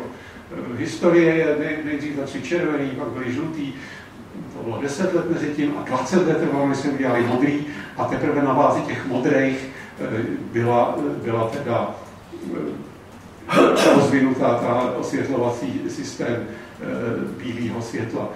Tadyhle máme různé materiály, to si dovolím skočit. Tadyhle je princip, je to PN přechod, jednoduchá dioda, dioda funguje takhle, elektrony a díry a rekombinace, přechody a generace fotonů to se děje tady v tomhle čipu, v tomhle obdélníčku, nebo kvádříček a ten, na něj je, na ně, na něj je nanesený nějaký luminofor na bázi fosforu nebo e, různých e, podobných materiálů, který tu modrou barvu proměňuje na, na bílou. Jakým způsobem? E, tady je ten emise z diody, modrá dioda, a plus je k tomu přidaná světlo toho luminoforu, který je buď to na, na žloutý nebo na, e, na červenavý, na modravý. Podle toho potom je součtu ten, to světlo diody. Tady trošku jako konkrétnější věci. E, tadyhle vidíme několik spekter. Kolega Telan s Valentou z Matfizu zavedli, nebo se pokouší zavést pro ty letky, protože výraz led žárovka je nesmysl, že jo, to je protimluv, tam není žádný žár ledka nesí, se nehřeje, negeneruje teplo, eh, tak jenom světlo, takže lumitka je ta luminiscenční dioda. Eh, ty starý, ty takovýto eh, studený světlo, bílý studený světlo je silný signál modrý a slabší signál tady někde zelenožlutý. Ta matná lumitka teplá, bílá teplá, dává takovýhle signál menší, daleko menší modrá, plus výrazně posunutá do červený z toho luminoforu. Eh, tady vidíme, jak vypadá žárovka, jak vypadá lineární zářivka, hrůza, signál obrovský, modrý, dokonce fialový a nepřirozený světlo. Eh, zářivky jsou jako, jednak nemají ani takovou úsporu energie a hlavně ta skladba toho světla je nepříjemná. Počáteční první letky měly taky ty letky, které vidíte tady, tu, tu studenou, tak mají taky nepříjemné světlo. Ještě horší jsou e, různé rtuťové lampy nebo sodíkové lampy. Tadyhle vidíme, jak vypadá v poledne sluneční záření dopadající na země kouly. Tady ku podivu tam zde na lampě žárovka, wolframová žárovka, taková ta edisonovská, tam má dost jiný spektrum, protože slunce má teplotu 5-6 tisíc stupňů na povrchu a žárovka kolem dvou, něco přes 2 tisíce, takže její spektrum je o hodně jiný. To, ta teplá, ta bílá ledka dává takovýhle spektrum, který je tomu slunečnému spektru poměrně dost podobný. Jiný takový tohle čtečka, e, čtečka červená e, v obchodech a tadyhle jsou e, ty Mercury, teda zářivky nebo jiný zdroje. To znamená, dneska ty letky, eh, úplně aktuální spektrum letky je poměrně slabá modrá, signál z luminoforu, plus ještě přidaná jedna červená letka, která to světlo, to spektrum vyzařovaný letkou posouvá ještě blíž k tomu slunečnímu záření, na který jsme zvyklí a adaptovaní. To znamená, když někdo si podsvětluje notebook modrým světlem a dělá dlouho do večera, tak se mu pak blbě spí. To jsou procesy, které jsou jako ověřený, to, eh, tím se zabývala paní profesorka eh, Jonerová z bývalá předsedkyně akademie, jak vlastně funguje člověk na to světlo a na spektrum světla. Na tom hodně záleží. Ta modrá je dost jako nevhodná. Naopak probouzet se s modrou nebo rýsovat při modrý, to není jako špatný. Tam není e, nějaká jako e, zabijácky škodlivá, ale citlivý lidi to může jako jim ten spátnek narušit. To znamená, snaha výrobců těch ledek je, aby to spektrum bylo nějaký rozumný. Eh, jak to, že tady se nám to eh, docela jako líbí nebo zdá podobný tomu solárnímu spektru, když tady ta zelená je takhle strašně slabá, to minimum tady nesnažíme se jako vyhladit, dohánět, no to je daný tím, že my máme spektrální citlivost oka, tohle logaritmický osad, takže zelená dává o řád až o dva řády větší citlivost oka je na tu zelenou než na červenou nebo, nebo na modrou. Takže e, tohle spektrum se nám zdá jako velice pěkně bílý a nevidíme tam to, co tam fyzikálně je ten propad toho, e, toho světla kolem té zelené. No, e, Tady je vysvětlení, já jsem eh, přednášel do středoškolských učitele, který zvídaví studenti eh, se ptají, a proč křemík nesvítí, to je tady na tom obrázku, tak kdybyste někdo chtěli vysvětlení, tak ho můžu podat, to poměrně dost složitý. Já jsem s tím měl velký problém to vysvětlit těm učitelům, těm studentům, jako na vysoký už to jde vysvětlit, protože tohle je věc, která je jako dost netriviální, ale prostě je to daný strukturou toho materiálu a vlastnostma elektronů, energetickýma povolenýma hladinama a tak dále, blablabla. Takže já tady teďka rychle. Další způsob, jak získat bílé světlo, je ze tří barev ho složit. Tam pak můžeme, moje vize je, že budeme mít u dveří knoflík, kde budeme jedním na, na, na knoflíky, jedním budeme měnit intenzitu, kolik toho světla chceme v místnosti a druhým, jaký světlo chceme. Jestli do žlutá nebo do modra, to všechno jako je možné realizovat pomocí těchto moderních systémů. E, tak e, Tadyhle vidíme aplikace, tak teďka půjdu velmi rychle, dálkový světla. Samozřejmě použití těchto těch malých, lehkých systémů na rozdíl od velkých žárovek, žrávých žárovek, je úspora energie velmi významná. Dáme mnohem víc světla, získáme, než kolik nás to stojí energie u klasických žárovek. A navíc je to malý a my s tím můžeme hýbat. A jde k tomu dát čidlo, jede auto proti skopy, uhnu aby jsme neoslňovali, protože jako jen blbec svítí hodně, aby oslnil druhýho. Mimochodem teda popravdě, že auta už dneska to tolik nedělají. Já teďka nejvíc cyklisti, co mají že takovou lampu na, na přilbě, ještě navíc koukají z očí do očí a ona to má půlku výkonu dálkového světla od auta dneska už opravdu. A ještě to bliká. No tak, ty opravdu ani nemusí blikat.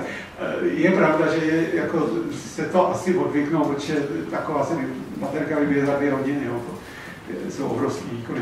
Takže aplikace, umělec, eh, různé možnosti osvětlovacích systémů, eh, umělecký, tohle to je, jo, tohle je zajímavá aplikace, je to rozmazaný, já nevím, eh, jako proč, možná schválně, Tohle je jako červený letkový světlo a tadyhle při dobrém pohledu vidíte rostlinky, jak pod tím hezky rostou a nemusí se příliš jako energeticky náročně spotřebovávat. Takže i, i takhle se dá eh, jak si podpořit růst eh, Mariánky. Eh, další jsou umění a OLEDky, to je jedna. Tady prosím pěkně pozor. OLED, to očko je tam organik, organická. To organik je v tomhle světě, já jsem se tam zmiňoval o organometalický nebo metalorganický epitaxi. Tady to není ta organika, kterou si kupujeme, jako že to není hnojený chemii, to je čistá chemie. Ty eh, OLEDky jsou na bázi polymerů, je to prostě polymer je organický materiál. Organokov, to je strašný slidstvo, hořlavý, výbušný, karcinogenní, já nevím, co si všechno vymyslíte, takový to je. A je to organokov, je to kovové atom a kolem jsou metanový nebo etanový nebo butanové skupiny, takže eh, jmenuje se to takhle, ale není to přitom jako ta organika, jak se to obvykle říká. Eh, tadyhle ty OLEDky mají možnost eh, plasticity, dají se dělat svinovací obrazovky, to už je zatím, já, buď je to drahý, nebo to lidi nepotřebují, ale máme malý mobil, vytáhneme si z toho plátínko a na tom bude vidět potom větší obrázek, když si chceme ukazovat fotky, tak to už existuje, ale nějak se to moc na trhu asi nechytlo. E, tadyhle jsou. Za to byla nedávno udělána Nobelová cena, tam je k tomu spousta pohádek, to byli e, tři Japonci, to vlastně nejsou tři Japonci, když všichni tak vypadají, ale e, Shuchi Nakamura, ten poslední je dneska už takový američan. Tady ty první dva, to je pan profesor, jeho, jeho doktorant, teď už taky profesor, který to vlastně udělali, vyvinuli, vymysleli, opublikovali a začali se věnovat něčemu jinému. Eh, pan inženýr Nakamura to po, na základě populu svého šéfa, majitele firmy, poměrně malé v té době, Vichia, eh, začal eh, se snažil uvést do reálného provozu výroby, produkce, ale jaký se mu to nedařilo, takže když nastoupil nový šéf, tak mu to zakázal, on Eh, a dal mi jiný úkoly, on je dělal, ale furt na tom pracoval, protože mu to nedal, pak to do vyvinu dopracoval a místo, aby ho jaksi pokáhali, potrestali, tak dokonce dostal odměnu, nebyla příliš velká, bylo to asi 20 eh, tisíc jenů, což je tu 180 dolarů, takže pak ho trošku zahojila ta Nobelová cena, tak je dostal milion a protože ta firma, ale tam jaksi nepošlušnost trestá, tak eh, tam neměl dobrou pozici, takže odešel eh, dělat profesora do Ameriky, tam založil i firmu a ty americký právníci ho potom donutili, nebo možná taky mrzelo, tak prostě proces s firmou a vyhrál. V prvním kole vysoudil na nich jako mizerných 10% jejich zisku 10% jejich zisku bylo kolem 180 milionů. Takže on se spokojil potom s desetinásobkem Nobelovy ceny, nechal se vyplatit 9 milionů, dál se s ním nesoudil, ale zástupce té firmy ani na to udělení Nobelovy ceny nepřišel, ještě tam pozvali. Japonci jsou zvláštní, zvláštní lidi. Tak eh, nemám čas tohle to vykládat, je to problém růstu epitaxního galium nitrinu, který vyřešili dotace eh, manganem a eh, výroby velmi složitých struktur, velmi komplikovaných. Tady vidíme vlevo atomárně rozlišený materiály, kde je vidět nezáměrný efekt kvantových teček. To je prostě fantastická. Proto byla ta Nobelová cena, protože tam je spojená praktická použitelnost a obrovský dopad na, na ekologii, na lidi a výsledek teda a, zajímavá fyzika, opravdu pěkná zajímavá fyzika. E, takže Tadyhle první z mých závěrů, tady ty light emitting diode mají úžasné parametry, skutečně velkou účinnost proti pár procentům žárovky klasický nebo pár 10-20% těch zářivek. E, mají dostatečnou životnost, jsou velmi podobní slunečnímu světlu a jak vědcové v Americe spočítali, před deseti lety na konferencích se uvádělo, že e, skokové zavedení, kdyby prostě v Americe převedli, zakázali žárovky a mimo začali e, používat jenom ledky na osvětlování, tak můžou zavřít 20 velkých elektráren. Velká elektrárna, to je typu Temelína nebo největší naše uhelní elektrárny.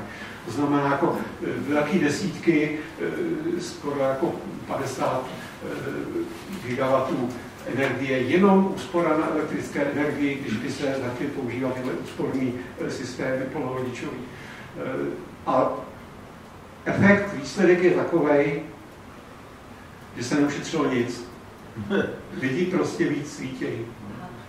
Za stejný peníze víc svítějí. Všimněte si, když letíte letadlo nebo se stáhnete na internetu, jak jsou ty země koule přesvětlený, jak ty města svítí záře. Jeden z efektů je, že za to nemusí platit víc, takže, takže prostě to je dost smutný. Tohle to je, mnohdy ta fyzika nepomáhá. Já jsem jednu ze svých eh, rolí, kterou jsem Dneska jsem dostal jmenovací dekret od paní nové předsedkyně akademie. Já jsem taky členem, já jsem kdysi dávno to teďka uh, už jenom promítnu, spíš vám řeknu, že si to můžete stáhnout, nebo že to přes Jirku pošlu. Uh, já jsem byl v Pačesový komisi a vypracoval jsem tam před už deseti lety ta energetická komise Pačesová o fotovoltaice. A teďka jsem se dostal do komise Akademie věd, která energetická komise je jedna z mnoha podpůrných eh, komisí vedení akademie.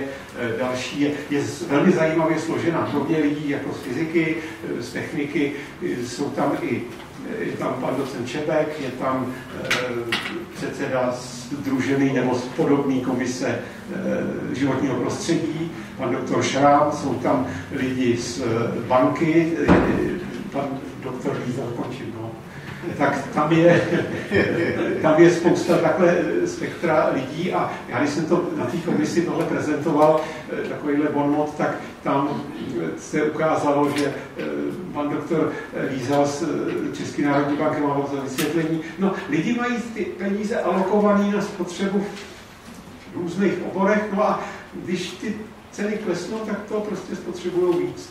Že není jenom efekt tady nešťastných ledek, ale i dalších věcí.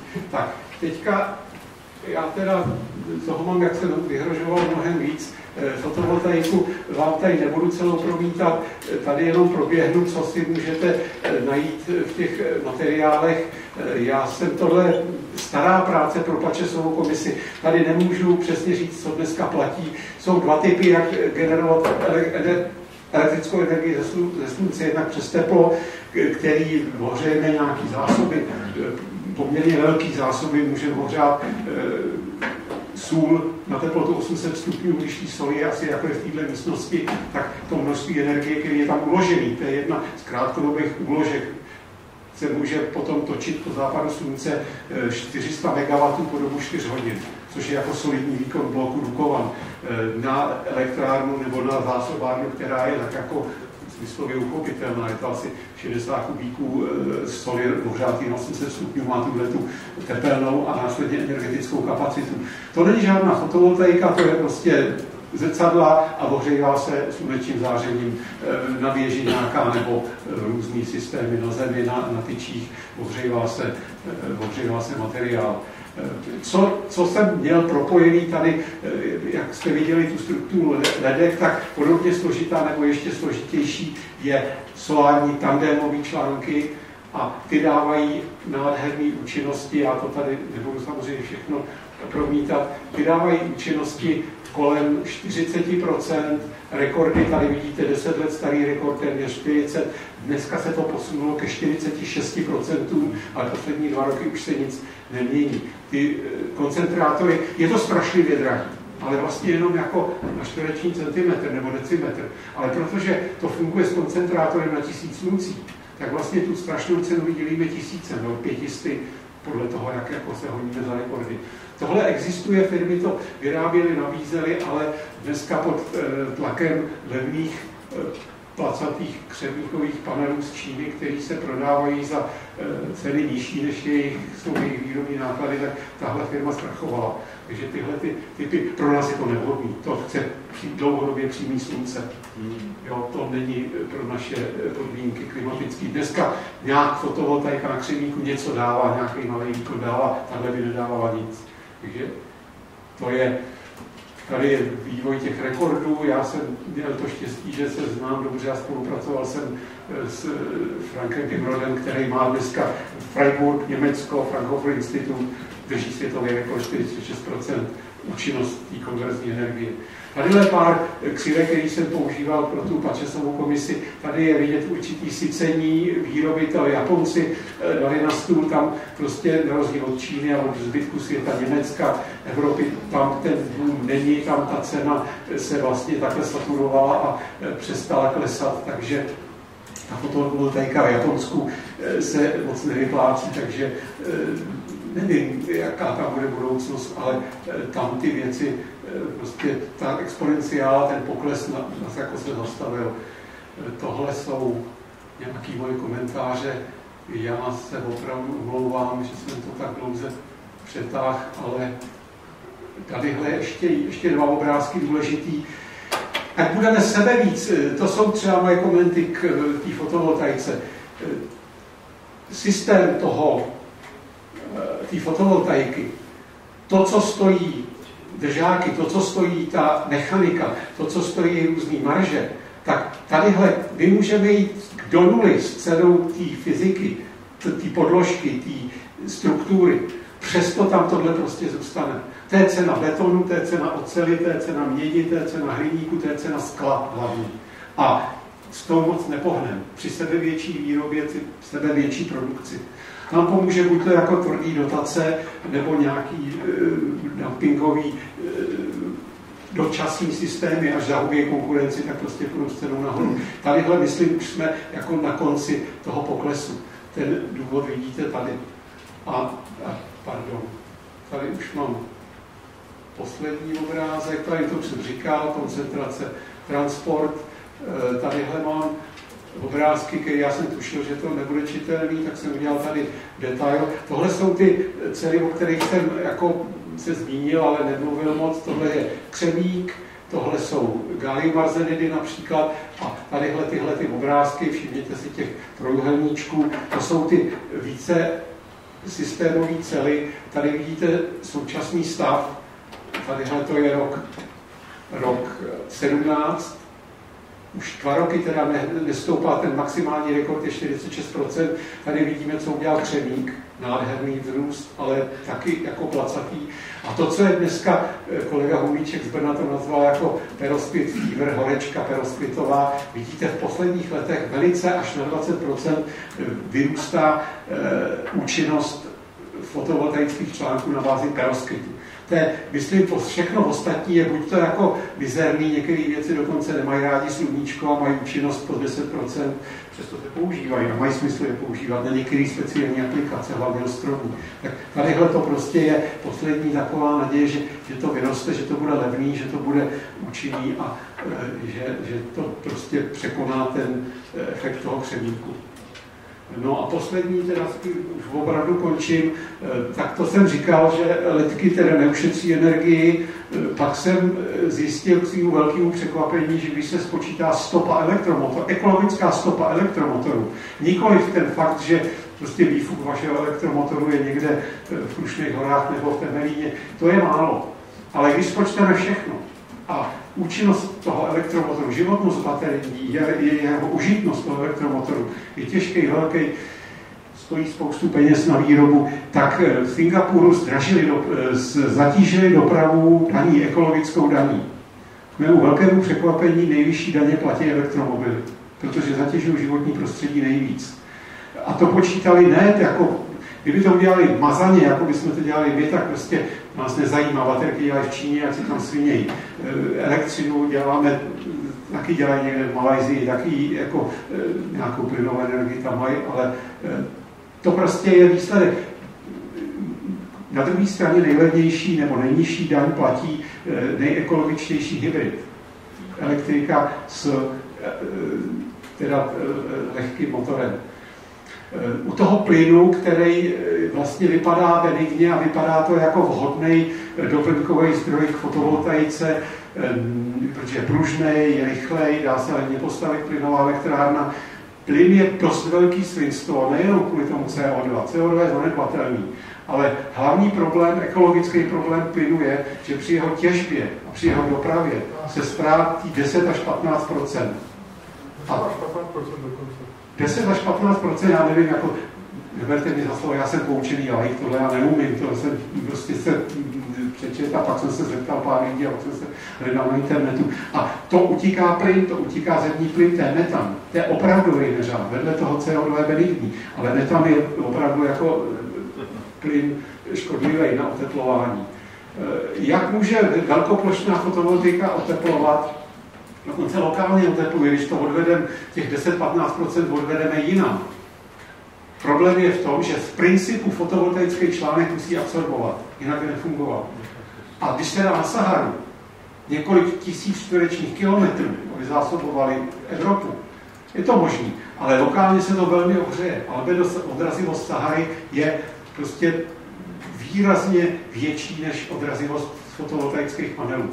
To nám 10% odvedeme a 30% toho tepla nám tam zůstane, který se neodrazí zpátky do té Sahary. To znamená ohřev velké plochy, velký proudění, e, nasávání vzduchu vlhkého ze středomoří nebo z Atlantiku, podle toho, kde to na Sahaře bude, mraky, déšť, no, báječný, navíc ještě velký té termiky e, se ty fotovoltaické panely zasypou, zasypou pískem, takže to jsou takový jo, je to, to, já to nemám rád, samozřejmě jsem se chtěl omlouvat na začátku. Bonmoty, to opravdu od jistý doby bonmoty nemám rád, ale tady tak jako šikovně napadnu. No, tady ta nestálost fotovoltaiky budí, s tím se nějak smíříme, ale když by převládl teda fotovoltaik, netýká se to větráků, jo, větrné elektrárny jsou z tohohle pohledu lepší. Kvalita energie nespočívá jenom v tom, že je nebo není, nebo je jí dost nebo málo, nebo že na písknutí spustit vodní elektrárny nebo akumulátory, výborně, to, to má velkou hodnotu, ale kvalita té energie z hlediska rozvodních závodů je i v frekvenci. Je to nejenom jako napětí, aby spotřeba a odběr byly stejný, ale aby ta frekvence při zvyšování, snižování zátěže jako se nezbláznila, aby jsme měli těch 50 eh, Hz, protože když se něco z toho zboří, tak to je strašně drahý, začnou odcházet ty přístroje, které jsou zvyklí na 50, eh, na 240, na 220 V. A eh, ta točivost, ty velké turbíny roztočený, nebo větráky roztočený, ty mají velký stabilizační faktor na, na síť. Když bychom měli síť jenom z fotovoltaiky, tak máme velký problém. Tak tam musí být nějaký systémy, který tohle umí regulovat. A to je jako snadný v případě solární dobíječky nebo malých věcí. Ale jakmile budeme mít tisíc čtverečních kilometrů a odpovídající výkon z toho bychom měli, tak, tak máme problém.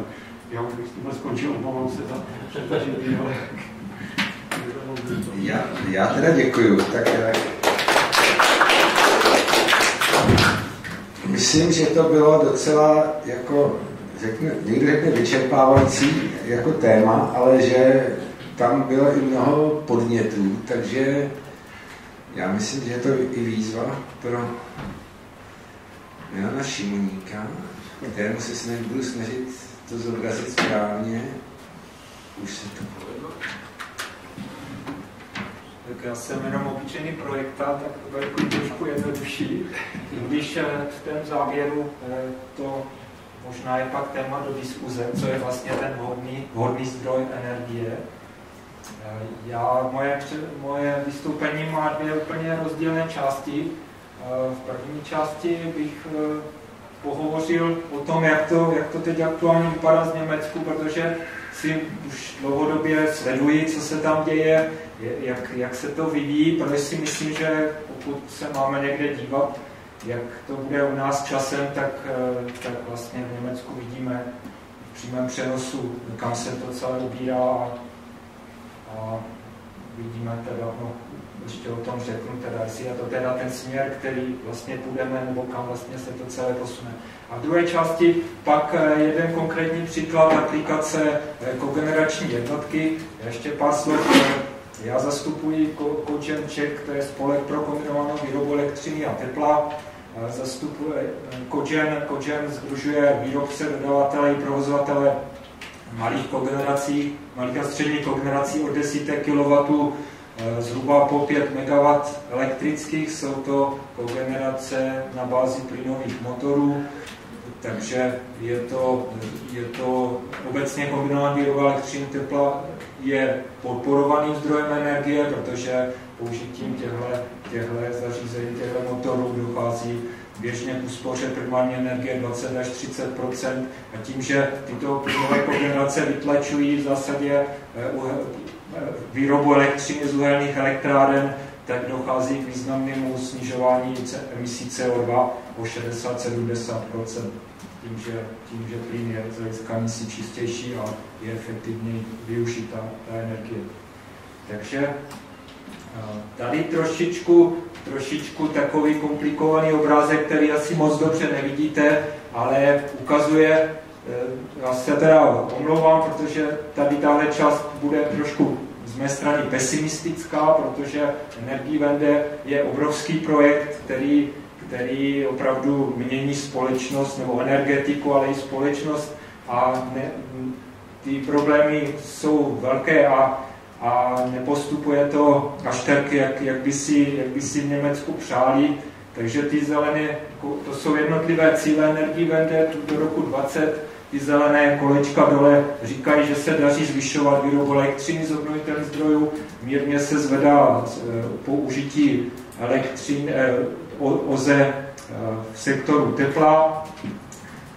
A na celkové spotřebě, na konečné spotřebě ale nedaří se zvyšovat eh, podíl OZE v dopravě. Eh, je problém s, s, s plněním nebo s, s postupem cílů v energetické efektivitě, eh, emise CO2,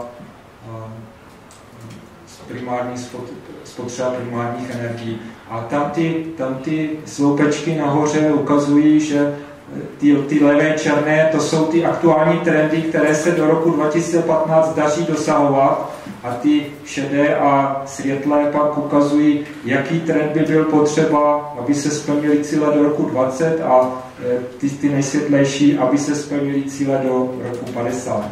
Takže u některých těch cílů ty, ty rozdíly mezi realitou a plánem jsou docela, docela významné a, a bude to ještě zajímavé, jak se, jak se jim bude dařit. No.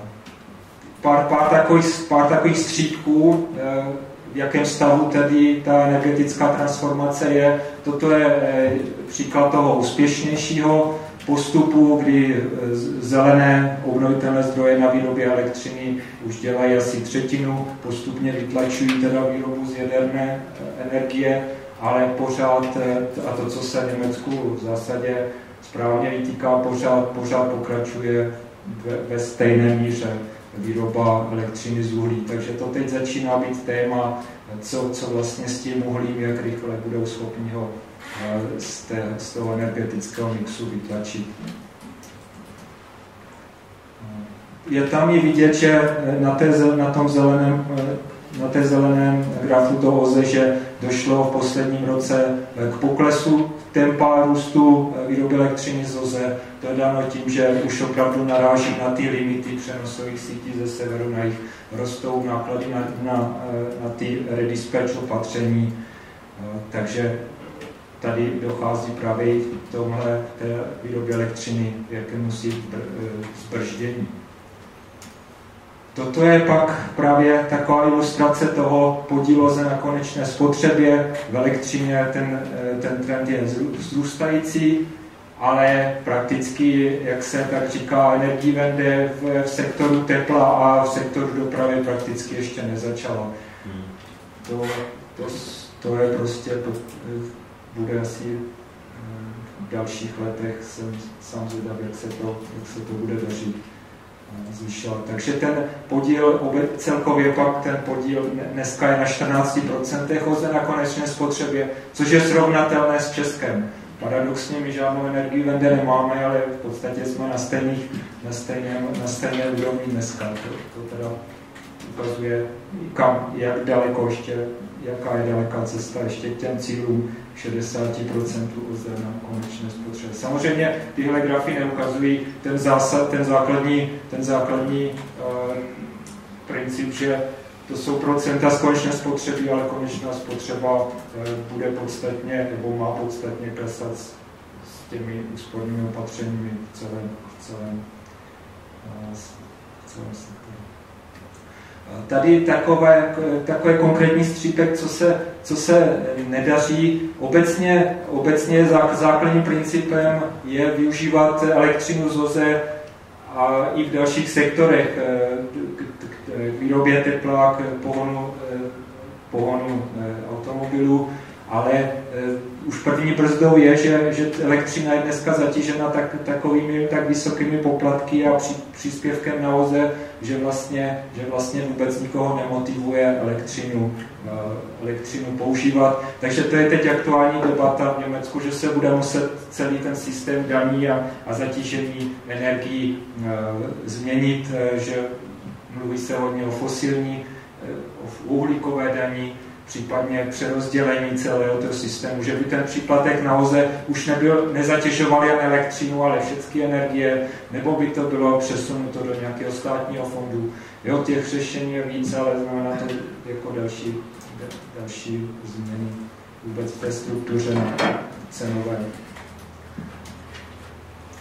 Taková, takovou ilustrací, jak jsem mluvil o tom teple, pořád ještě to je statistika prodeje individuálních topidel, pořád ještě se prodává 10% eh, eh, topení, to, jako topení na, na lehký topný olej, eh, dvě třetiny je na zemní plyn.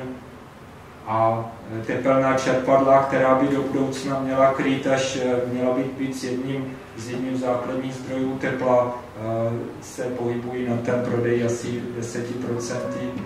A takže tam i přesto, že mají různé dotace, takže tam ještě, tam právě už teď je debata o tom, co bude v roce 2030. Mluví se o tom, že mluví se, e, že by měli mít 4-5 e, milionů tepelných čerpadel, a což tomu ty dnešní trendy vůbec neodpovídají, takže to je další téma který teda budou muset řešit, co, co s tím dělat. A tady to bylo teda takové, takový pár střípků ze současné situace. E, tady pořád taková ta otázka, co, co bude dál, co bude v roce 40, 50, e, trošku teď narážím na naši, na naši státní koncepci. Hmm, ty scénáře, ty scénáře se v Německu postupně vyvíjí, ale ty ty trendy jsou, ty trendy jsou jasné. Já jsem tady vybral aktuální, aktuální scénář výroby elektřiny do roku 50, který si u, u renomovaných eh, institucí, kterých je v Německu samozřejmě celá řada jako institut a prognoz objednalo WWF. Takže je to spíš takový scénář, řekněme, ekologický, opravdu extrémní. Eh, jeho zadání bylo, jak zajistit eh, od výstup, výstup z uhelné energetiky do roku 35, jak by, jak by ta dodávka elektřiny vypadala. A, takže, no, a co z, toho, co z toho takové poučení, nebo jak vlastně který směřuje, ta elektroenergetika směřuje základem, no, základem ta tmavozelená vpravo je větrná energetika na Zemi, ta světle zelená je větrná energetika na moři. Takže to se znovu a znovu opakuje v těch, v těch scénářích, že základem je levná a relativně po celý rok disponibilní větrná energetika a fotovoltaika je takový jakýsi doplňkem. Dalším, dalším takovým eh, rysem té budoucí energetiky je, že, a to už te se vracím k, dota, k dotazu, který byl, eh, který byl motem téhle debaty, že, že zůstává, takový, zůstává centralizovaný energetika zůstane centralizovaná. Jeden, jeden trend je samozřejmě decentralizace na úrovni e, bytových domů, domácností nebo, e, nebo měst, obcí, ale druhý trend jednoznačně je centralizace a na, naopak ještě směrem centralizace celoevropské. Takže když občas slyším, jak, jak se budeme zbavovat za, závislosti na, na, zlých, na zlých distributorech a zlých velkých energetických firmách, tak to, to jsou takový eh, poměrně, si myslím, naivní, řeči, protože ani ty lokální, ani ty větrné eh, elektrárny na moři nebudou dělat nějací, nějací družstevníci, ale prostě bude to zase věc velkých, eh, velkých, velkých firm. Stejně tak přenosové sítě. Takže bude, bude to kombinace velké a malé energetiky. Otázkou je, které ty velké zdroje v ní budou, jestli jenom teda ta větrná nebo i část eh, jaderné, budou tam ještě do roku 50 určitě tam bude eh, obrovské instalovaný výkon záložních plynových elektráren a možná ještě nějaká uhelná. Takže bude to kombinace velké malé energetiky. Eh, opakovaně se zdůrazňuje teda význam, význam těch, té infrastruktury samozřejmě elektřina, plyn, ale i, i to i teplo, kdy e, teď, trošku naražím na to, co říkal Petr Holub, že se 1% odstav, ročně odstav odpojuje od CZT a docela pro ty teplárny je to velký problém, ale myslím si, že opravdu, e, opravdu ten stát, že ty teplárny jsou na, na hraně takové ekonomické udržitelnosti a a nějakým způsobem eh, to bude docela důležitý téma, protože nebude taky, eh, tak jak eh, jsem byl, nebo sleduju situaci v Německu, nebo i teď v zimním balíčku teplárenské sítě už nebudou jenom nějaká jednosměrná cesta od těch tepláren ke spotřebitelům, ale budou, budou pochytávat v tom daném regionu nebo čtvrtí budou, budou integrovat různé zdroje i nízkopotenciálního tepla, odpadní teplo, s klimatizací, nebo bude, to, bude docházet stále větší integraci těch různých e, zdrojů. Umožňuje ta, ta síť e, umožňuje jakési hybridní řešení, zatímco které se lépe dělá na úrovni teda nějakého centralizovaného systému, anebo teda pak decentralizovaného, eh, řekněme, eh, tepelný rozvod v rámci bytového domu nebo nějakého, nějakého areálu. Takže to, to je jedno z takových eh, konfliktních nebo konfliktních témat na příští roky a já bych, i, i když si ti teplárníci, tak jak je sleduju, jezdím na ty konference, oni jsou pořád teda opravdu, opravdu teda vzpomín, nebo ne vzpomínají, uznávají v podstatě už, že, že, že, to svoje, že ten kapitalismus v těch 90. letech budovali a v podstatě zneužívali to svoje monopolní postavení, ale teď už je ta realita i ty technologie, které umožňují eh, konkurenční, konkurenční technologie, tak už je trošku trošku jsou nuceni se chovat jinak a já myslím, že bychom tu CZT obecně měli dát šanci a ne, mělo by se nějak snažit se ty sítě v rozumné míře udržet, kde to samozřejmě má smysl. Co, co ještě z těch eh, scénářů obecně v Německu eh, vyplývá, že, že se opakovaně čtu, že, že biomasa je v podstatě v energetice a hlavně teda ve, ve výrobě elektřiny naprosto marginální, eh, marginální zdroj, který, který jak, jak je teda v konfliktu s výrobou potravin, tak i teda biomasa a biopaliva pak mají další jako specifické využití právě tam, kde nic jiného se použít nedá, třeba to letectví nebo nějaké přímé užití v průmyslu.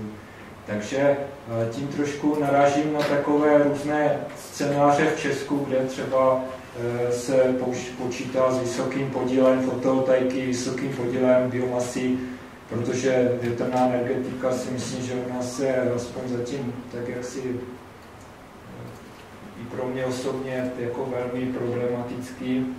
A, takže ty alternativní scénáře, které se objevují, jsou ale proti tomu smyslu a proti tomu, těm principům té relativně, reali, jako relativně v úvozovkách levné transformace s, s vysokým podílem větru, což eh, všechny ostatní varianty si myslím, že budou, budou dražší a, a je to, myslím, že ještě na, na další diskuze, jak, jak, vlastně, jak vlastně se jako Česko máme, kam se máme posouvat.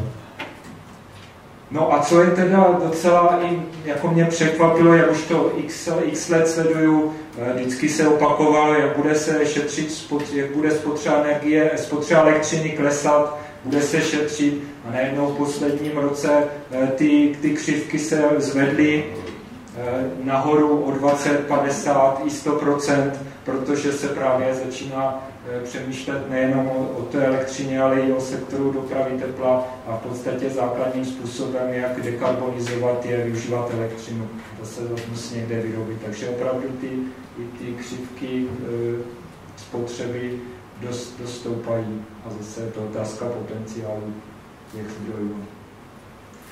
Taky občas se mluví, budeme jako jedna z variant, že budeme elektřinu dovážet, už tady padl, padl Sahara, Sahara takový, taky jsem určitou dobu, jak si si myslel, no, že by to mohlo fungovat, ale taky teď jsem už spíš skeptický. I vůbec eh, mluvím s, s různýma lidma v Německu, ve Španělsku, eh, nevidím nikde, nevidím nikde nějaký konkrétní jako směřování, že by že by, že by ta Evropa byla schopna těm regionům, které mají, já si myslím, objektivně menší, menší potenciál oze, že by, že by, že by ti, kteří, kteří mají víc, že by byli nějak schopni nám jakoby do budoucna nějakým způsobem zajistit, zaručit teda ty, ty dodávky. No.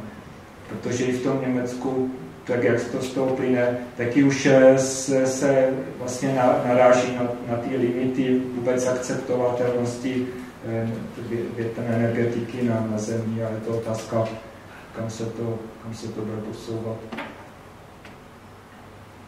Takže to byla první část, možná než začnu druhé, jestli k tomu máte nějaký dotaz. Bylo to tím světem. No, já bych se zeptal, jak je to se zálohováním, protože třeba takovým momentem bylo, že tuto zimu poměrně dlouhé období nefoukalo. A no. E, čili jako otázka je, jak v tom konceptu se počítá se zálohováním, protože jak se ukazuje, ani to není lecená záležitost. Že? Pokud se musí udržovat e, ty záložní kapacity, tak e, tvrdí se, že ty náklady můžou být až třetinový oproti tomu, když by se to, ta elektrárna třeba provozovala. Tak eh, ano. to je, to je otázka, to tady to, nějak to moc... Samozřejmě, eh, ano, eh, samozřejmě akumulace, to možná ještě se k tomu může vrátit, ale, ale obecně se mluví o tom, že bude na celý výkon německý maximální v zásadě záložní zdroje plynové. A tak, jak jsem o tom diskutoval už s více lidma, ono, když se to vezme, ty plynové elektrárny, ty, ty investiční náklady dělají třeba 20-25% té celkové ceny, a ne, a ne, tak to je jako ilustrace, ale když se rozpočte investiční náklad na počeradskou elektrárnu a viděli se 15 lety a rozpočte se do, eh, do nebo celý, kdyby celý výkon Česka maximální se postavil v počeradských paroplynových elektráren, tak to dělá do ceny elektřiny nějakých 20-30 euro. Ta investiční složka plus, Samozřejmě v tom budou nějaké náklady na, na, na udržování pohotovosti, na nějaký minimální personál, ale tam tyhle, tyhle, tyhle elektrárny už si stačí s minimem personálu, tam jsou na směně dva, tři, čtyři lidi.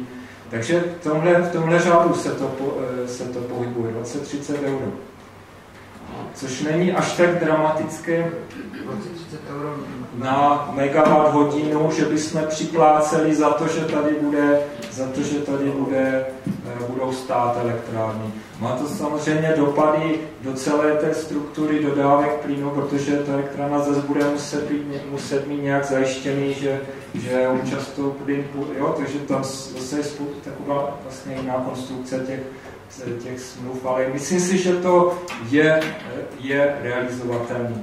A právě když se mluví o tom, že elektrifikace sektoru tepla, tepelní čerpadla, tam jakási akumulace, taky je, taky je možná jako, do, jako akumulace tepla, ale, ale v zásadě i, i tam se uznává, že, že vlastně by, by dodávky elektřiny pro ty tepelní čerpadla mohl být z části právě nějakými špičkovými jako záložnými zdroji v rámci teda té zálohy celé té elektroenergetiky. Co k tomu mají Němci e, představu hlavní jejich teda je, že víte ze severu, ať německý nebo dánský, pojede, když bude do Alp a rakouský a německý přečerpávačky se budou, ale to není zásobování na měsíc, to je zásobování špička denní a noční. Ty kapacity těch přečerpávaček zatím nejsou tohohle typu. A i tak je to problém a je to drahý. To byly donedávna většina těch přetoků přes nás, která šlo, když koukalo, tak to šlo do Rakous a ty přečerpávače. Tím se vyhladějí ty, protože výroba větráků, dnešní výroba větráků a fotovoltaiky, když se daří, když svítí a větrá, tak je 100% všechna německá spotřeba do toho. To znamená, vypínají se uhelný, vypí plynový neběže, jaderný se omezují, nebo se to fouká teple pryč a, a, a cena energie jde do záporna nebo do nuly, když se opravdu zadaří. Tak to je potřeba řešit těma přečerpávačkami. Ale dlouhodobý bezvětří, samozřejmě ty zálohové zdroje jako 20-30 eur není málo, to je dnešní cena e, megawatt hodiny. No, ale Bez, reálná cena elektřiny je kolem když 100, 100 euro. Když si Reálná cena elektřiny, kterou to prodávají dneska na trhu, je peak load 28 na 17 no, ale, a baseload. Ale to, to, je, to prostě, že to je, eh, to není reálná cena, ano, to je cena vyplývající no, z nějakého tržního mechanismu. No, to ještě ale, není ale vůbec neodpovídá, jakoby, jo, s tím, to musím souhlasit těm kritikům, že, že tenhle tržní mechanismus jakoby nedává ty signály. A když si vezmete, že nové jaderné elektrárny budou mít cenu 80 euro, když přičtete k uhelné elektrárně povolenku 20, 30, 50 euro, tak jste vlastně do budoucna na 100 euro, je to, je to hlízne. No. A, a naopak, pokud se teda už dneska ty mořské eh, v těch mělkých vodách Severního moře, jak to teď proběhlo, eh, že už v podstatě nechtějí dotací eh, v těch aukcích, protože předpokládají, že, že za nějakých 60 euro se v roce 25 už, už prodají na, na trhu, Což, což jako dává v zásadě logiku. Oni mají ale, ale to oni mají dotaci, trošku... oni mají obrovskou dotaci v tom povinném odběru. Uh, to no proto, uh, to pro... má povinný odběr, který prostě je, drtí tu konkurenci. Když máte elektrárnu, je to samozřejmě ekologické, nebo to, jestli ano nebo ne, ale ta, ta cena těch mizerných 20 8 a 38, myslím, je baseload a peak load. To je ještě mnohem burza na trhu, jakých to přeprodávají pětkrát obchodníci se svou marží ze vším. Ten výrobce v té elektrárně uhelný jaderný, ten dostane polovinu z toho. Takže když chcete vyrábět elektřinu, musíte počítat, že ji prodáte těm burziánům ne za 20, ale za 10, za 15 eur.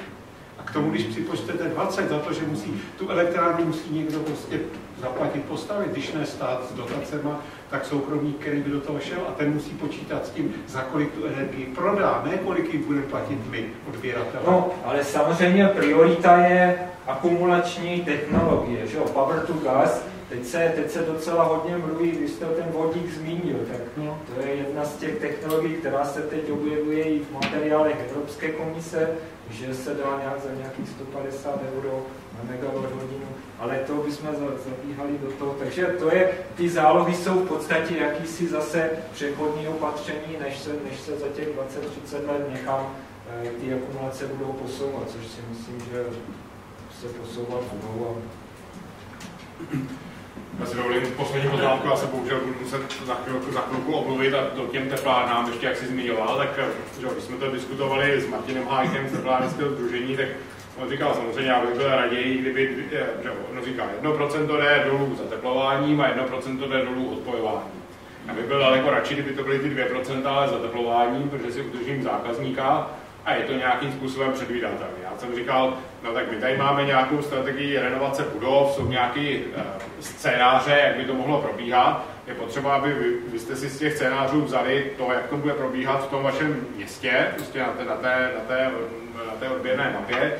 Eh, budete vidět, jaký máte hustoty prostě odběrů a kde se vyplatí jako zrenovovat tu teplárnu, ať už na zdroji, tak, tak, prostě na, na, na, na trubkách, a třeba i prostě na nějakým jako chytrým řešení prostě jako odběru, a kde prostě jako se to nevyplatí a má cenu, aby nastal řízený rozpad. Protože to, co nastává teď, jako že je neřízený rozpad někde, tak to je to nejhorší jako jak pro nás, tak pro ty teplárny, tak jako pro všechny, tak pro ty zákazníky, protože ty zbývající platí ty zbývající náklady.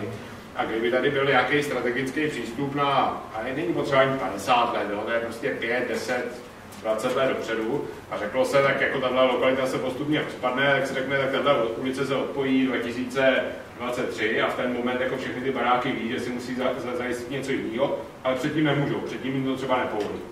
Jo, tak tenhle strategický přístup tam vlastně chybí a to samý může nastat v elektřině, pokud by tady jako byl přístup, že ta síť může působit jako nějaký buffer, jako baterka, že jo, tak je nějaký nutný, tady nevím, jo, tak to jde nějak nastavit tak, že vlastně jako nebudete ztrácet zákazníky. Když se tady mluví o tom, že se zavedou tarify podle eh, výkonu, že to je kvůli těm jako domácím výrobám, jo, a najednou se mě ta jako fotovoltaika nevyplatí, pokud jsem ještě připojený na síť, tak počkám ty dva roky a prostě dám tu fotovoltaiku s baterkama a odpojím se úplně, že? Jo, takže to jako je prostě problém nestrategického přístupu a problém těch, co mají stávající součást trhu, že se jakoby brání místo, aby viděli jako do budoucna. Což jako ten, i ten čest prostě už jako není úplně tak, ale jako ještě pořád, jako jo, tam se to je jako v rámci té velké firmy. To byla moje poslední poznámka, bohužel budu muset vyrazit. Já děkuji. Takže já děkuju. Jo, ještě, ta, tak jo, ještě teda k té druhé části a to je, to je to, co teď eh, říkal Petr, ty technologie na to odpojování fungují nebo jsou už k dispozici, i když je právě otázka, kolik skutečně stojí ty alternativní technologie, ale jak teda v te, teplárnách nebo v konkurence teplárnám, tak, tak právě i v zajištění, eh, zajištění elektřinou. A právě TEDOM uh, minulý rok zprovoznil, uh, minulý rok zprovoznil takové, takovou integrované řešení firmní energetiky ve svém, ve svém výrobním administrativním závodě ve Výčapech u Třebíče, kdy, kdy je tam kombinace 30 kW fotovoltaiky, asi 80 kWh baterie, 30 kW kogenerační jednotka a k tomu ještě akumulace tepla přes eh, elektrokotel. Eh, je tam eh, stávající výroba takých chladů, jak v kompresorové, kompresorové chladící jednotce, tak i v absorpční. A je to, je to doplněno, teda je to zapojeno do, do distribuční sítě, ale mm, právě toto bylo, je to takové testovací Eh, testovací zařízení, kdy, kdy během půlročního provozu si tedy ověřil, že to opravdu může fungovat eh, ve, v ostrovním provozu. Ta, jako není to vždycky, vždycky taková, takové energetické řešení bude hodně, hodně individuální, záleží to na typech těch elektrospotřebičů v dané síti, je potřeba odladit tu komunikaci mezi mezi kogenerací a střídačí, ale, ale funguje to. Ale právě tak, jak pan Jeleček o tom taky mluví, cílem, cílem není dávat návody a odpojovat se, ale prostě ukázat, že ty, že ty řešení pro ty, pro ty smart grids, když se to tomu takhle dá říct, prostě už jsou k dispozici a jde, o to hledat teda nějakou, nějakou rozumnou střední cestu mezi, mezi požadavky spotřebitelů a, a nároky distributorů a vůbec těch všech hráčů. Takže to si myslím, že je takový zajímavý příspěvek do té, do té debaty, že to může, může fungovat.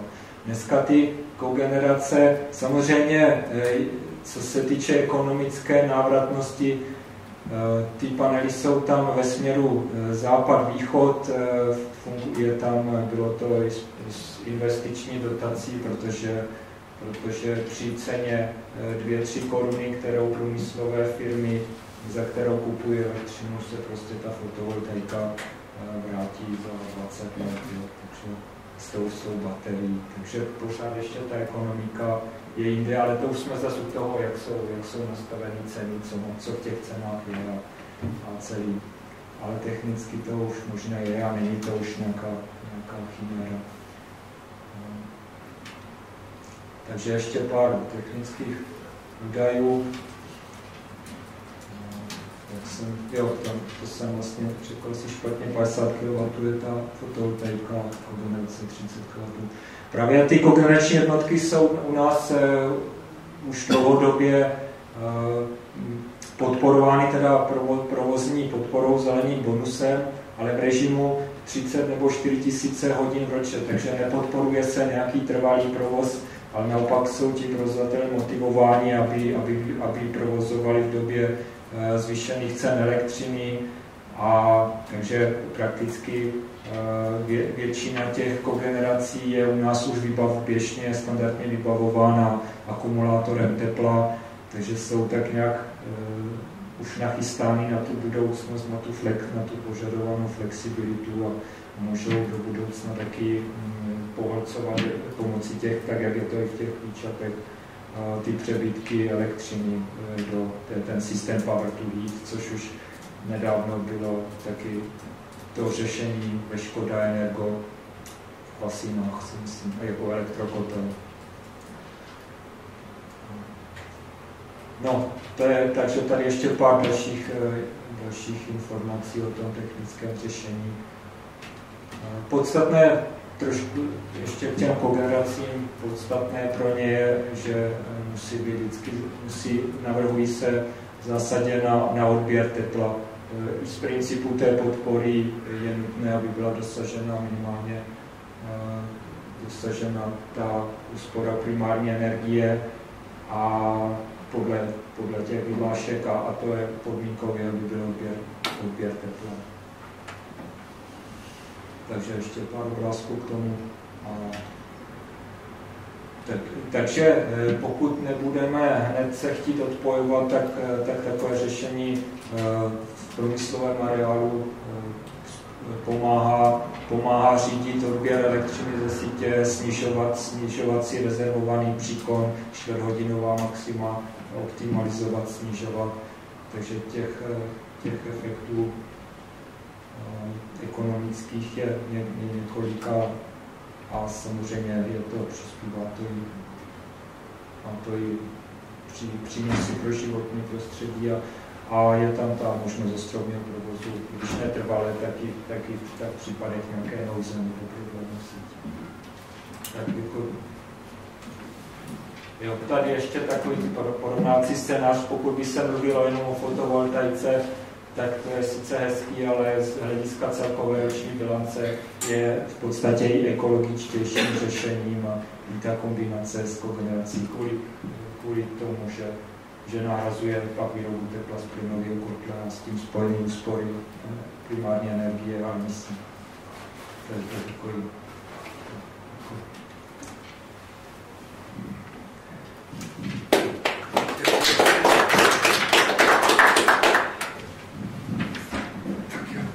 moc děkuju. Já, že se to tady dneska rozvíjí, protože si myslím, že trošku se tady i, jak si ta diskuze blíží realitě. Jo, že to opravdu tady nejsou, nenabízí nikdo, nikdo nějaké sny, ale trošku se snaží opravdu, jsou tady lidi, kteří nějak, nějakým způsobem opravdu s těma energiemi dělají, dělají takže fakt je mě docela líto, že tady dneska málo lidí. Já jsem chtěl k tomu odpojování od toho teplárenství, bohužel tady už jako Petr Holub není. Jo? Moje osobní zkušenost je, že u nás výroba kubíku vody teplé vyjde na 100 korun. Cena, která bydlí, a vyrábíme to teda jako normálně z karmy nebo prostě se z plynu. Cena, která je na plynárně, tak platí 600 až 700 korun za ten kubík jo, e, vody. Takže jako zřejmě prostě špatný rozvod do mě a všecko, jo, ale je, jsou to prostě obrovské rozdíly, které potom opravdu vedou ty lidi k tomu, že se odpojují. teplou vodu? Za teplou vodu, za výrobu, za, za výrobu kubíku teplé vody. No. Je to za teplo. Ne, já se bavím o výrobě kubíku teplé vody. Jako já jsem to doma počítal z té spotřeby plynu, jako kolik nás to stojí. Tak, to je jenom taková, taková poznámka, prostě opravdu, a je to teda konkrétně Červený vrch, jako to starší, to starší sídliště. Jo, vlastně z těch, tak. Ale já jsem tady abych moderoval, takže spíš, kdo má teďka nějaké dotazy, jestli jsou? Já bych měl, proč se nezavádí ve větší míře bateriové systémy třeba na traktory? Proč se ne, bateriové systémy ve větší míře na železniční dopravu? Na traktoru musí mít zátěž závaží na kolech, takže kdyby se tam dali ty baterky, tak by to byla zátěž a mohl by na to jezdit. Teďka se dává takzvaná zelená nafta, která není zelená, je to fosilní palivo, ale by se dala zelená energie, on by mohl nabít ty baterky, ten zemědělec, když je nadbytek v síti, jo, počerpat tu nadbytečnou energii, jo, no a nemusela by se dávat dotace na zelenou naftu, jo. Nadbytek v síti je, když svítí sluníčko a zemědělec jezdí. Za druhý, cena energie elektrický není vůbec podstatná. Podstatná je cena a životnost akumulátoru. No a za, a za třetí, a to právě já si myslím, že všechny ty dotazy souvisí s tím, kam, kam dnešní, kam česká energetika chce směřovat Protože pokud řekneme, že, že tady OZE je marginální a chceme jít tam, tak všechno ostatní je podle mě jako nezajímavý. A ta, a ta pozornost se soustředí na ty na to, na to jádro, na celý ten systém s tím spojený. A, a veškerý OZE je pak v podstatě konkurentem, protože čím víc bude těch eh, variabilních zdrojů, tak tím, tím víc to bude narážet na, tu, na, tu, na to jádro, který potřebuje pokud možno plný výkon je pořád. Takže si myslím, že tam je takový zásadní, zásadní konflikt, kam, kam vlastně chceme. Protože dotovat větrník je v podstatě kontra, kontraproduktivní oproti proti tomu jádru. I když jako, uzná, jako uznávám dobře do určité míry, samozřejmě i to ose může, může jít, ale, ale pokud tady má být 50% jádra, tak, eh, tak, to, tak to OZE může zůstat tak nějak nějakém jenom okrajovém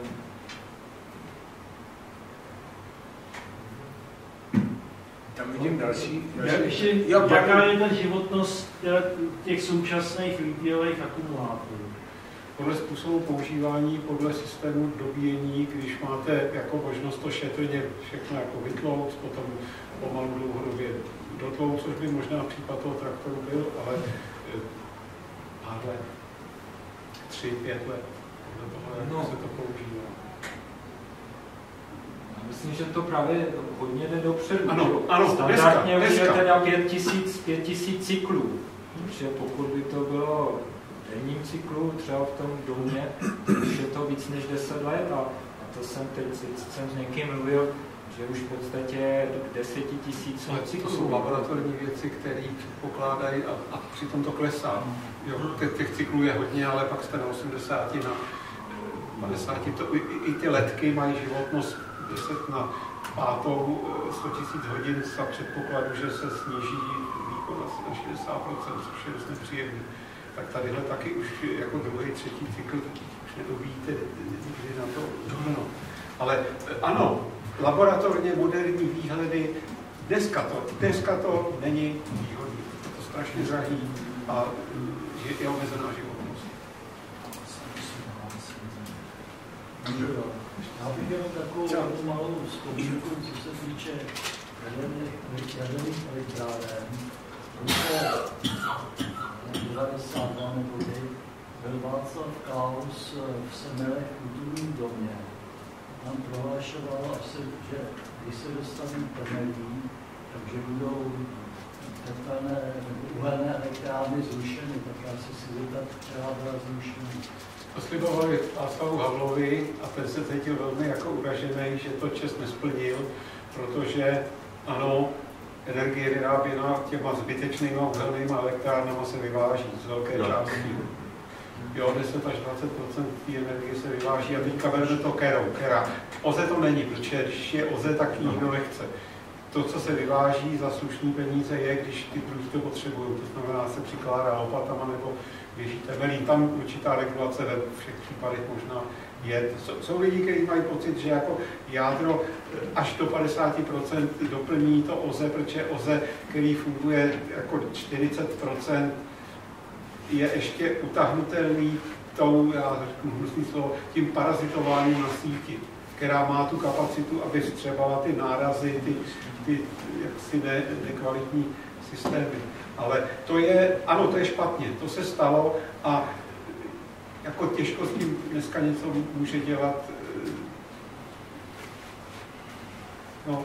Dobře, ještě jenom k energetice. Já osobně považuji za největší problém energetiky akumulování elektrické energie. Tak už se o tom mluvilo. Myslím si, že by bylo hodné, prostě jestli nějaká instituce neexistuje, prostě jim založit, nebo společnost, nevím, jaká je že by se tím měl, měl někdo zatne, někdo, a nějaká společnost zabývat opravdu jako od A do Z. No. Protože všechno ostatní se dá už, je to známý, dá se to řešit, ale ta akumulace elektrické energie je prostě vyřešená do posud není. Nevím, jak mluvilo se tady taky o té výrobě vodíku, vyrábí vodík a ten, ten prostě potom, potom se využívá přečerpávací elektrárny,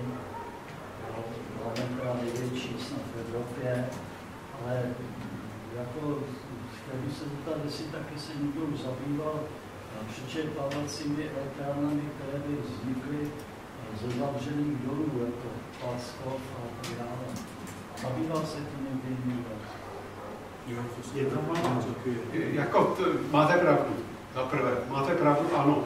A zakládat něco asi není potřeba, protože tím se zabývá spousta je to několik jako věcí. Jsou to jednak bádání, jednak jako výzkum, která něco vymyslí. Těch způsobů je mnoho principiálních.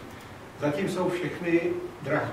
Dneska jsme v situaci, která je, já pevně doufám, protože jsem si na důchod nakoupil akcie Česu, že ta situace se změní, protože cena energie je nepřiměřeně nízká. Je to daný nejen dotacema, ale i tím, že si ten jaksi volný nebo kvazivolný trh nastavil příliš mnoho zdrojů. Existuje příliš mnoho zdrojů a jsou ochotní některé zdroje, zvláště jako hnědouhelné elektrárny, vyrábět za každou cenu, protože e, ta nevýroba je hodně drahá. A je té energie na trhu příliš mnoho. Je překvapivý, jak si poradil s energií. Já jsem čekal, že s německým systémem, z OZE, že ohromným způsobem stoupne cena špičkové energie. Ano, občas se to stane. Když my jsme měli odstavený Dukovany, Temelín, vypad, tak se platili jako hříšní peníze za krátkodobé dodávky energie. To bylo, já nevím, 170 eh, nebo ještě, ještě víc. Jsou okamžiky na výroby, kdy ty rozvodní závody jsou ochotní zaplatit někomu, kdo si tu energii odebere. Jo, I takový za rok se stává několik desítek hodin, kdy se prostě za vyroběnou energii ten výrob, ten čes, teda to platí ne čestné výrobce, ale rozhodně závody, že zaplatí. Eh, akumulace energie je zásadní věc, je řada přístupů, ale v dnešních cenách energie se Česu nevyplatí, to nejenom badatelsky, ale Čes má zpracovaný plány na přečerpávačku daleko jednodušší než zaplavený doly se všema rizikama a motor dole, že jo, to, to není sranda. Má připravenou přečerpávačku mezi Kavíkem a Orlíkem za 2 miliardy korun. To jsou směšní peníze v energetice která by srážela cenu té špičkové energie za nic. Nemusí se stavět nádrž na kopci, nemusí se kopat eh, tunel. Jo, je ten, to potrubí a ten, ta turbína, která by to hnala nahoru, když by byl přebytek a pak vyráběla, když by byla špička, dohromady 2 miliardy korun. Često, Česu se to nevyplatí do toho ty mizerné 2 miliardy investovat, protože cena i špičkové energie, kromě těch výjimek, který běží několik hodin nebo desítek hodin za rok, je tak nízká. Rozdíl, jak jsme se tady underkovali, ty, ten base load a peak load je nepatrný rozdíl, já si dnešní noviny nepamatuju, ale to bývá tak kolem 30 eur za base a 40 za peak. To znamená, jako mít k dispozici, aby to fungovalo, musí to být trvalé. Ta akumulace přečerpávačkou takhle relativně levnou, jednoduchou je v dnešních cenách energie a v dnešní situaci na trhu kdy to je zásluha obchodníků, kterou já prostě jako technik nechápu, jak je možný, že těma šikovnýma přeprodejema různě jak si srazili cenu té špičkové energie navzdory velkému rozvoji OZE, tak, tak proto ty přečerpávačky se nedělají. To všechno ostatní je nepříčetně drahý. Akumulátory. Máme přece potřeba se dívat dopředu. A Čes teda tam má pořád ještě většinu stát, že jo? Čes, jestli se nepletu. Takže stát by to měl právě ten čas ovlivňovat jako různý bádání, že jo, vědecký, tak zrovna tím podobným systémem by se měly dělat ty eh, opatření na akumulaci. Přesně firma zatím se to nevyplatí, ani státu jako akcionáři. A ta výstavba, až to bude potřeba, bude poměrně rychlá. Ale dneska se to prostě nevyplatí. Je to, je to smutný, ale je to tak. A bádání se podporuje, grantový systémy dávají do akumulace energie, evropský, český, jako... Je to roztříštění všem. Jako, kdyby byl... Já si pamatuju doby centrálního plánování státního výzkumu. To k ničemu nevedlo. Dneska ta věda se nedá dělat jinak, než, než. Je to blbý systém, nespravedlivý, nákladný, ale lepší nikdo. Já bych tomu jenom dodal jednu věc, že jak si možná, že je potřeba taky poslouchat, co tady profesor Holcil říkal, že říkal, že jak si se za věce omlouvá, že se tohle to nepovedlo zatím. Já si myslím, že opravdu ve světě toto je podobně jako teda ta e, vlastně energetická fúze, tak prostě tohle je velké téma ve vědě a že rozhodně tady, když založíme, založíme jako výbor pro uskladování elektřiny, podobně jako jsme měli tam na kampě, eh, jak se to bylo, výbor pro zavedení automatického spřáhla, tak jako tímto, tímto jako rozhodně, to prostě je úplně řádově někde jinde. Jo? To je nad státama a podobně, kdyby se to povedlo, tak možná tady vyřešíme třeba opravdu i tu změnu klimatu. Jo? Tak to bych jenom řekl, tady se hlásí Víte, ale Honza Zeman, já ho nevidím. Nejdřív bych malou poznámku. Šéf jako akcionář společnost je povinen vytvářet zisk ze zákona, když nebude, bude žalován třeba menšími akcionáři, takže ono tady prostě, nevím, jestli to je dobré špatně, ale je to, je to limit. Takže jsem tady na jiné věci. První věc je ty přetoky německý elektřiny přes nás. Nakolik nás přijdou, a což nám ta Němci neplatí, to je taková jedna věc. Druhá věc, když se snažím počítat některé definice cen, cen paliva energie, tak nějak na to, že zavřený trhu s elektřinou není k dispozici průměrná velkou obchodní cena tady elektřiny. Takže je těžké cokoliv počítat. A nebýt to ani staťák, ani to ani další úřad. Třetí taková věc. Existuje obvinění, že trh elektřinou rozvrací električní soustavu, že velká část Evropy dneska v deficitní a že kdyby bylo Francie, Česká, možná ještě pěti dalších států, že pomalu bylo odkud dovážet. Možná je to trochu přehnaný teda, jo, ale jak to vidíte? Já myslím, můžu na to první. Já jsem měl to štěstí, že díky té energetické komisi jsme se dostali na exkurzi do, do Čepsu, kde bylo jako radost se dívat, jak je to sofistikovaný, jak je to řízený, jak to funguje, jak drží frekvenci, jak drží výkony. A tohle to byla moje poznámka. Tehda ještě ne, to bylo na podzim, dneska už běžejí ty fázový, fázový posuny, který zabraňují přetokům přes Českou republiku, hmm. těm neplánovaným, nadlimitním. E, zaplať pámbu, že Evropa, Evropská komise zatím nepožaduje platby za přenosy elektrické energie. Ty něm, těm Němcům skutečně ještě je to horší, než si myslíte. To není jenom, že to zadarmo převedeme, ale my ještě to, co oni dají na hranicích na severu, tak my ve stejný to, co klesne tady, e, ten výkon ztráty v tom rozhodu, musíme dodat a dáváme to do Rakouska ve stejné ve stejný hodnotě, ve stejném výkonu a je to v naší režii, nikdo nic jako e, nedostane. To je pro nás veliký štěstí a když jsem tohleto jako, jak je to možné, jestli by to nebylo spravedlivý a tak dále, tak všichni říkali, no, ono to hrozí, ono je možné, že se to nastane, ale to bude pro nás, pro exportéry elektřiny, obrovská rána, protože ty naši vývozci, těch našich 10 až 20% podle toho, jak kdy energie, který posílají odsaď třeba do momentálně deficitního Portugalska, nikomu nic po cestě neplatí.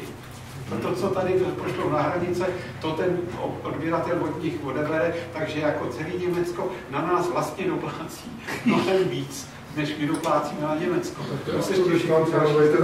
To je celý absurdista do tržní ekonomiku. to je prostě celoevropská dohoda, že takhle ty evropské sítě budou fungovat. Kdyby tomu tak nebylo, tak začnou ty národní státy se opevňovat a začne problém ještě větší. Hmm. Takže tohle rozhodnutí Evropské unie, že to tak bude, je vhodný, je výhodný vlastně pro drtivou většinu eh, těch eh, zúčastněných. I na tom někdo tratí, ale prostě je to absurdní, mě samotného to překvapilo, když jsem se to dověděl, ale jak jsem se to dověděl, tak to teda dodávám dál. Vy jste se ptal ještě... Na to, že není ta tržnice na elektřinu. No není, není to, to, to, vůbec, to jsou, to, co jsem tady říkal, jsou odhady. Přečtete si cenu na burze, výhled na příští rok, za kolik to, Čes vám řekne akorát, že má nasmluvanou elektřinu na letošní rok, že ji má prodanou za 28 eur na megawatt hodinu, to, co vyrobí celý systém Česu. Kolik dostává která elektrárna, nikdo nic neřekne, za kolik ta elektrárna to vyrábí, absolutně nikdo nic neřekne. Eh, jediná informace je z té burzy, která je, a kolik je aktuální cena elektřiny podle toho, kolik ty přenosové závody jsou ochotní a povinní zaplatit, tak to prostě je jenom momentální cena, kterou se zpětně můžete dovědět. A ještě externality všechny nese poškozené nikoli původce.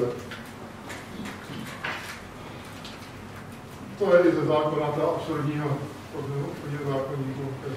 Tady, no, no, ještě teda, to nebyl přímý dotaz, ale trochu to s tím souvisí ty přetoky, který já jsem se zeptal na tom Čepsu taky, a co na to Němci, že se staví, Poláci už ty bariéry měli, teďka už u nás to je taky, u toho, toho Hradce je, jsou teda ty čtyři obrovské transformátory, Itálii koupený, z Itálie dovezený, a ty blokují přetoky Němců, tak jsem se ptal, co na to Němci, jako jak je to poškodí. A říkali, nemá ty naši jako partneři, s kterými jsou oni ve styku telefonním a, a kolikrát zabezpečený, když někde něco vyboukne, aby byli připraveni ty sítě, spouštili se zdroje, tak ty říkali, no konečně zaplať pámbu to bude teda tak, že my ze zákona jsme povinni jako německý ČEPS, my jsme povinni chránit německou rozvodnou soustavu. Jako přetoky, které šly přes vás, my jsme nemohli blokovat, protože to není u nás jako... A my dobře víme, že kdyby se to u vás hroutilo, tak nám se to zatraceně jako vrátí. Hmm. Takže v tomhle okamžiku, kdy ty přetoky nepůjdou přes vás a půjdou přes nás, tak my máme právo, nárok prostě vypnout větráky nebo prostě něco udělat, aby jsme si nezbořili tu síť. Takže oni se vůbec na nás nezlobí, že jsme se jako opevnili. To je, to je taky paradoxní. Můžu, se zeptat ještě, je, zajímalo mě jedna věc, v Německu, vrátím se k Německu energie, stále tam staví nové kapacity OZE, stále to zvyšují. Proč u nás nechceme jít podobnou cestou? Druhá otázka. Proč nemůžeme rozvíjet fotovoltaiku na střechách domů a z těch 3 kW třeba na 10 kW? Proč ČEPS nedostane od státu základní úkol, aby nezačal budovat akumulační jednotky eh, na principu syntetického metanu, jako to zkoušejí Němci, nebo ať postaví eh, jak si třeba přečerpávačku. Eh, proč zatracovat jak si OZE? Protože když vezmu z ekonomického hlediska a přidám k tomu externality k těm jednotlivým zdrojům, jsme úplně někde jinde, úplně jiný situace. A poslední otázka, co reaktory čtvrtí generace. Kdy mají šanci být zrealizovatelný v praxi? Kdybychom se třeba vydali touhle cestou, počkali a postavili tyhle ty reaktory čtvrtí generace, kdyby to bylo tak reálné? To je souhrnou. Já se pokusím, já na to neúplně umím odpovědět. Proč nestavíme jako Němci? Protože tady moc nefouká, víte, jak na těch severních německých pláních a u toho moře s fotovoltaikou. Eh, na tom nejsme zdaleka tak špatně, to jsme na tom líp než Němci a stojí nás to teda zatraceně veliký peníze. Ta větrná elektrárna, to říkal Jirka správně, ta tak drahá není, ale zbytek do té, eh, já nevím, kolika to 50 halíře, nebo kolik to je dneska na kilowatt hodinu, tak je v té fotovoltaice, přestože jako 10% nákladů je fotovoltaika a 2% je produkce fotovoltaiky. Tady ty kouzla, ty, ty wattpíky, to je, to je úžasný číslo, jo, 50 kW píků, ale to není kilowatt, to je kilowatt pík, to platí jenom v poledne při jasném nebi a kolbým dopadů na panel. E, takže tam ta fotovoltaika, která by u nás šla ještě rozšířit, e, tak e, se dneska nevyplatí ani na těch střechách. Jo? to, co, že se to, ten rozmach a že plníme všechny ty směrnice evropský na, to, na ty úspory, ty jsou daný tím prostě komplotem parlamentu a solárních baronů, což často jako je průnik eh, mnoho poslanců samozřejmě. Já jsem to věděl, v té eh, aby se mi bylo jasný, že, kilo, že 13,50 za kWh hodinu, akorát jsem se styděl prostě si to dát na garáž a na střechu, té době prostě, jo, to, to byl obrovský důl. A to je jako ne, neudržitelný, to je netrvalý. Tady ty e, střešní panely začnou fungovat, až ta energie bude ještě mnohem dražší. A ta energie, já si myslím, já doufám, nebo se obávám, ta prostě dražší bude. To, to je, e, jo, pokud nebude masivně e, dotovaná, tak jo, to zkresluje jednak to, co jsem říkal, je příliš mnoho kapacit výrobních, který si nastavil soukromý, polosoukromý sektor. A je tady obrovská dotace, která se jaksi zpětně vrací do celé té elektřiny, ale dotace na výrobu té elektřiny. Tak tady eh, proč ve fotovoltaice jsme na tom dobře, s větrnou elektrárnou jsou problémy, protože lidi to jako nechtějí za svým dorkem. A e, nefouká tady tolik větru, jako nemáme ty šelfový plány, kde to nikomu nevadí, kde se dají stavět. I opravdu dobrý, účinný, to všechno jako, ano, dneska je konkurenceschopná větrná, ale když tam tam tu 200 metrový list doveze a postaví se tam 10 MW turbína, stejně je potřeba jako stovky aby to byla jako solidní elektrárna, tak to umí to moře. Tady nevstavíme tak velkou, tady budou 3, maximálně 5 MW a za velkých nákladů a ještě tady ten stabilní vítr prostě není. Tak možná je tohle odpověď. Musím nesouhlasit, promiňte, že vám do toho skáču, ale když si vemte, co si vždycky říkal o větrní energetice, u nás není potenciál. Pořád roste nahoru. To znamená, ten eh, technický potenciál se díky s novými technologiemi výrazně zlepšuje. Eh, to znamená, eh, ve větrné energetice tady jako šance jsou. A prostě nevyužitá je odpadová, odpadové využívání biomisy eh, na výrobu eh, bioplynu a pomocí kogenerační jednotky výroba elektřiny a, a tepla.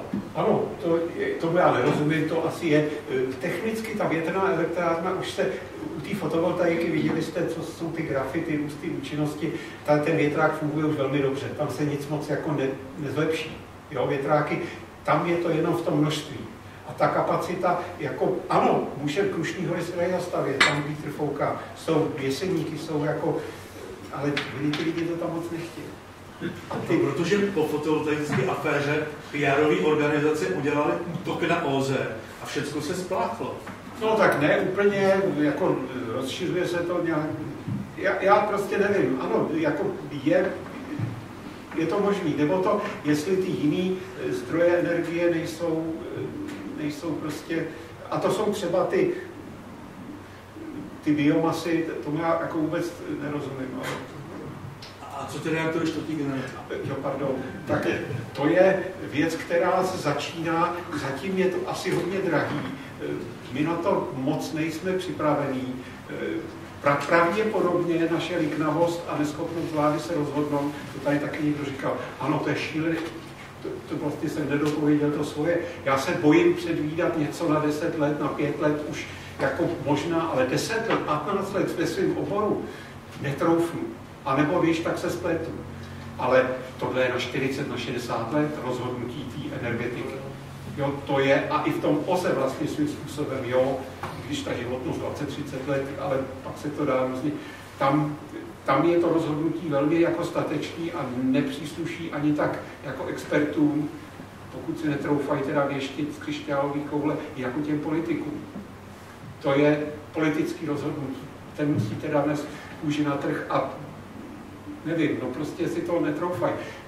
Kromě toho běží i tři ITRI je teda v Kadaraši ve Francii to, co u nás je největší východní projekt za vědecký, za peníze Evropské unie, to je 6 miliard korun, 4 miliardy eur do Eli, to, je, to bude několik měsíců největší laser na světě, už snad jako příští rok puštěný.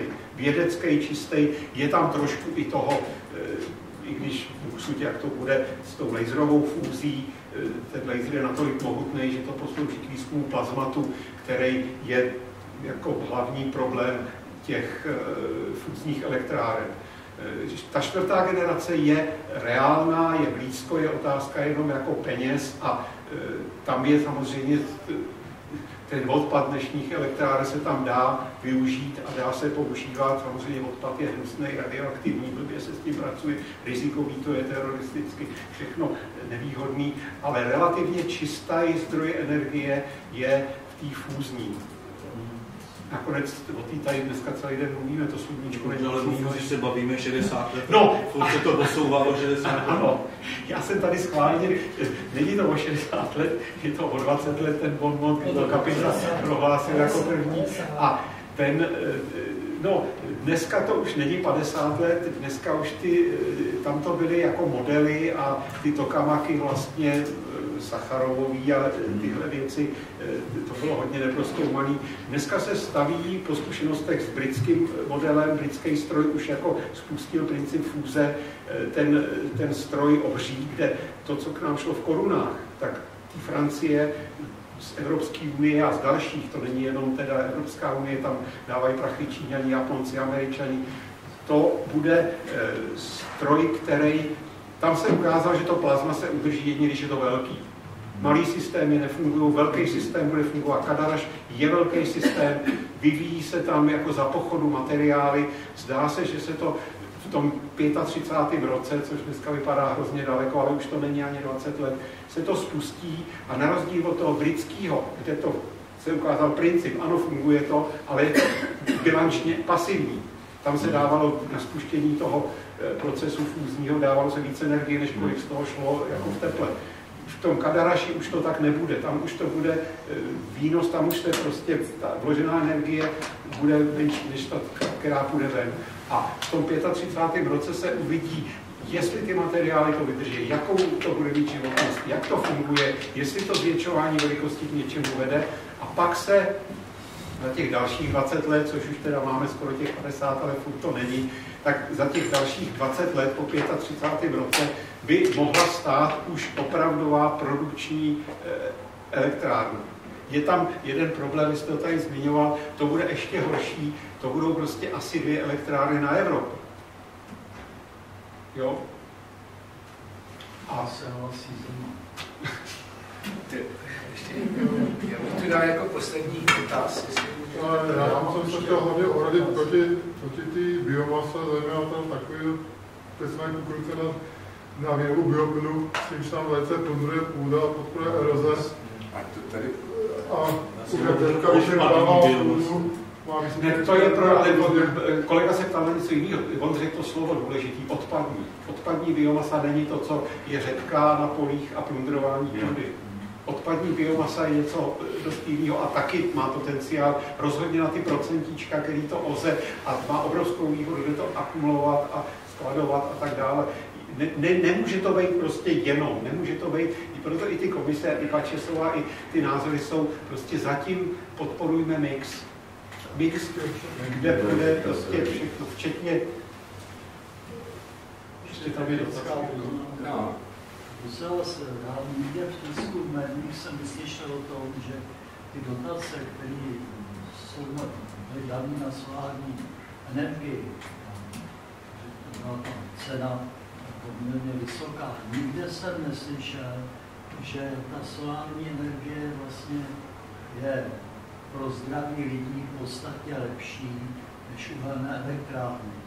Nikdo, zatím jsem to neslyšel, nikdo, ne. nevyčí, nikdo nevyčíslil, jaký ten dopad na zdraví občanů. To má, to má přece taky, zdraví občanů má taky svou hodnotu finanční, řeknu.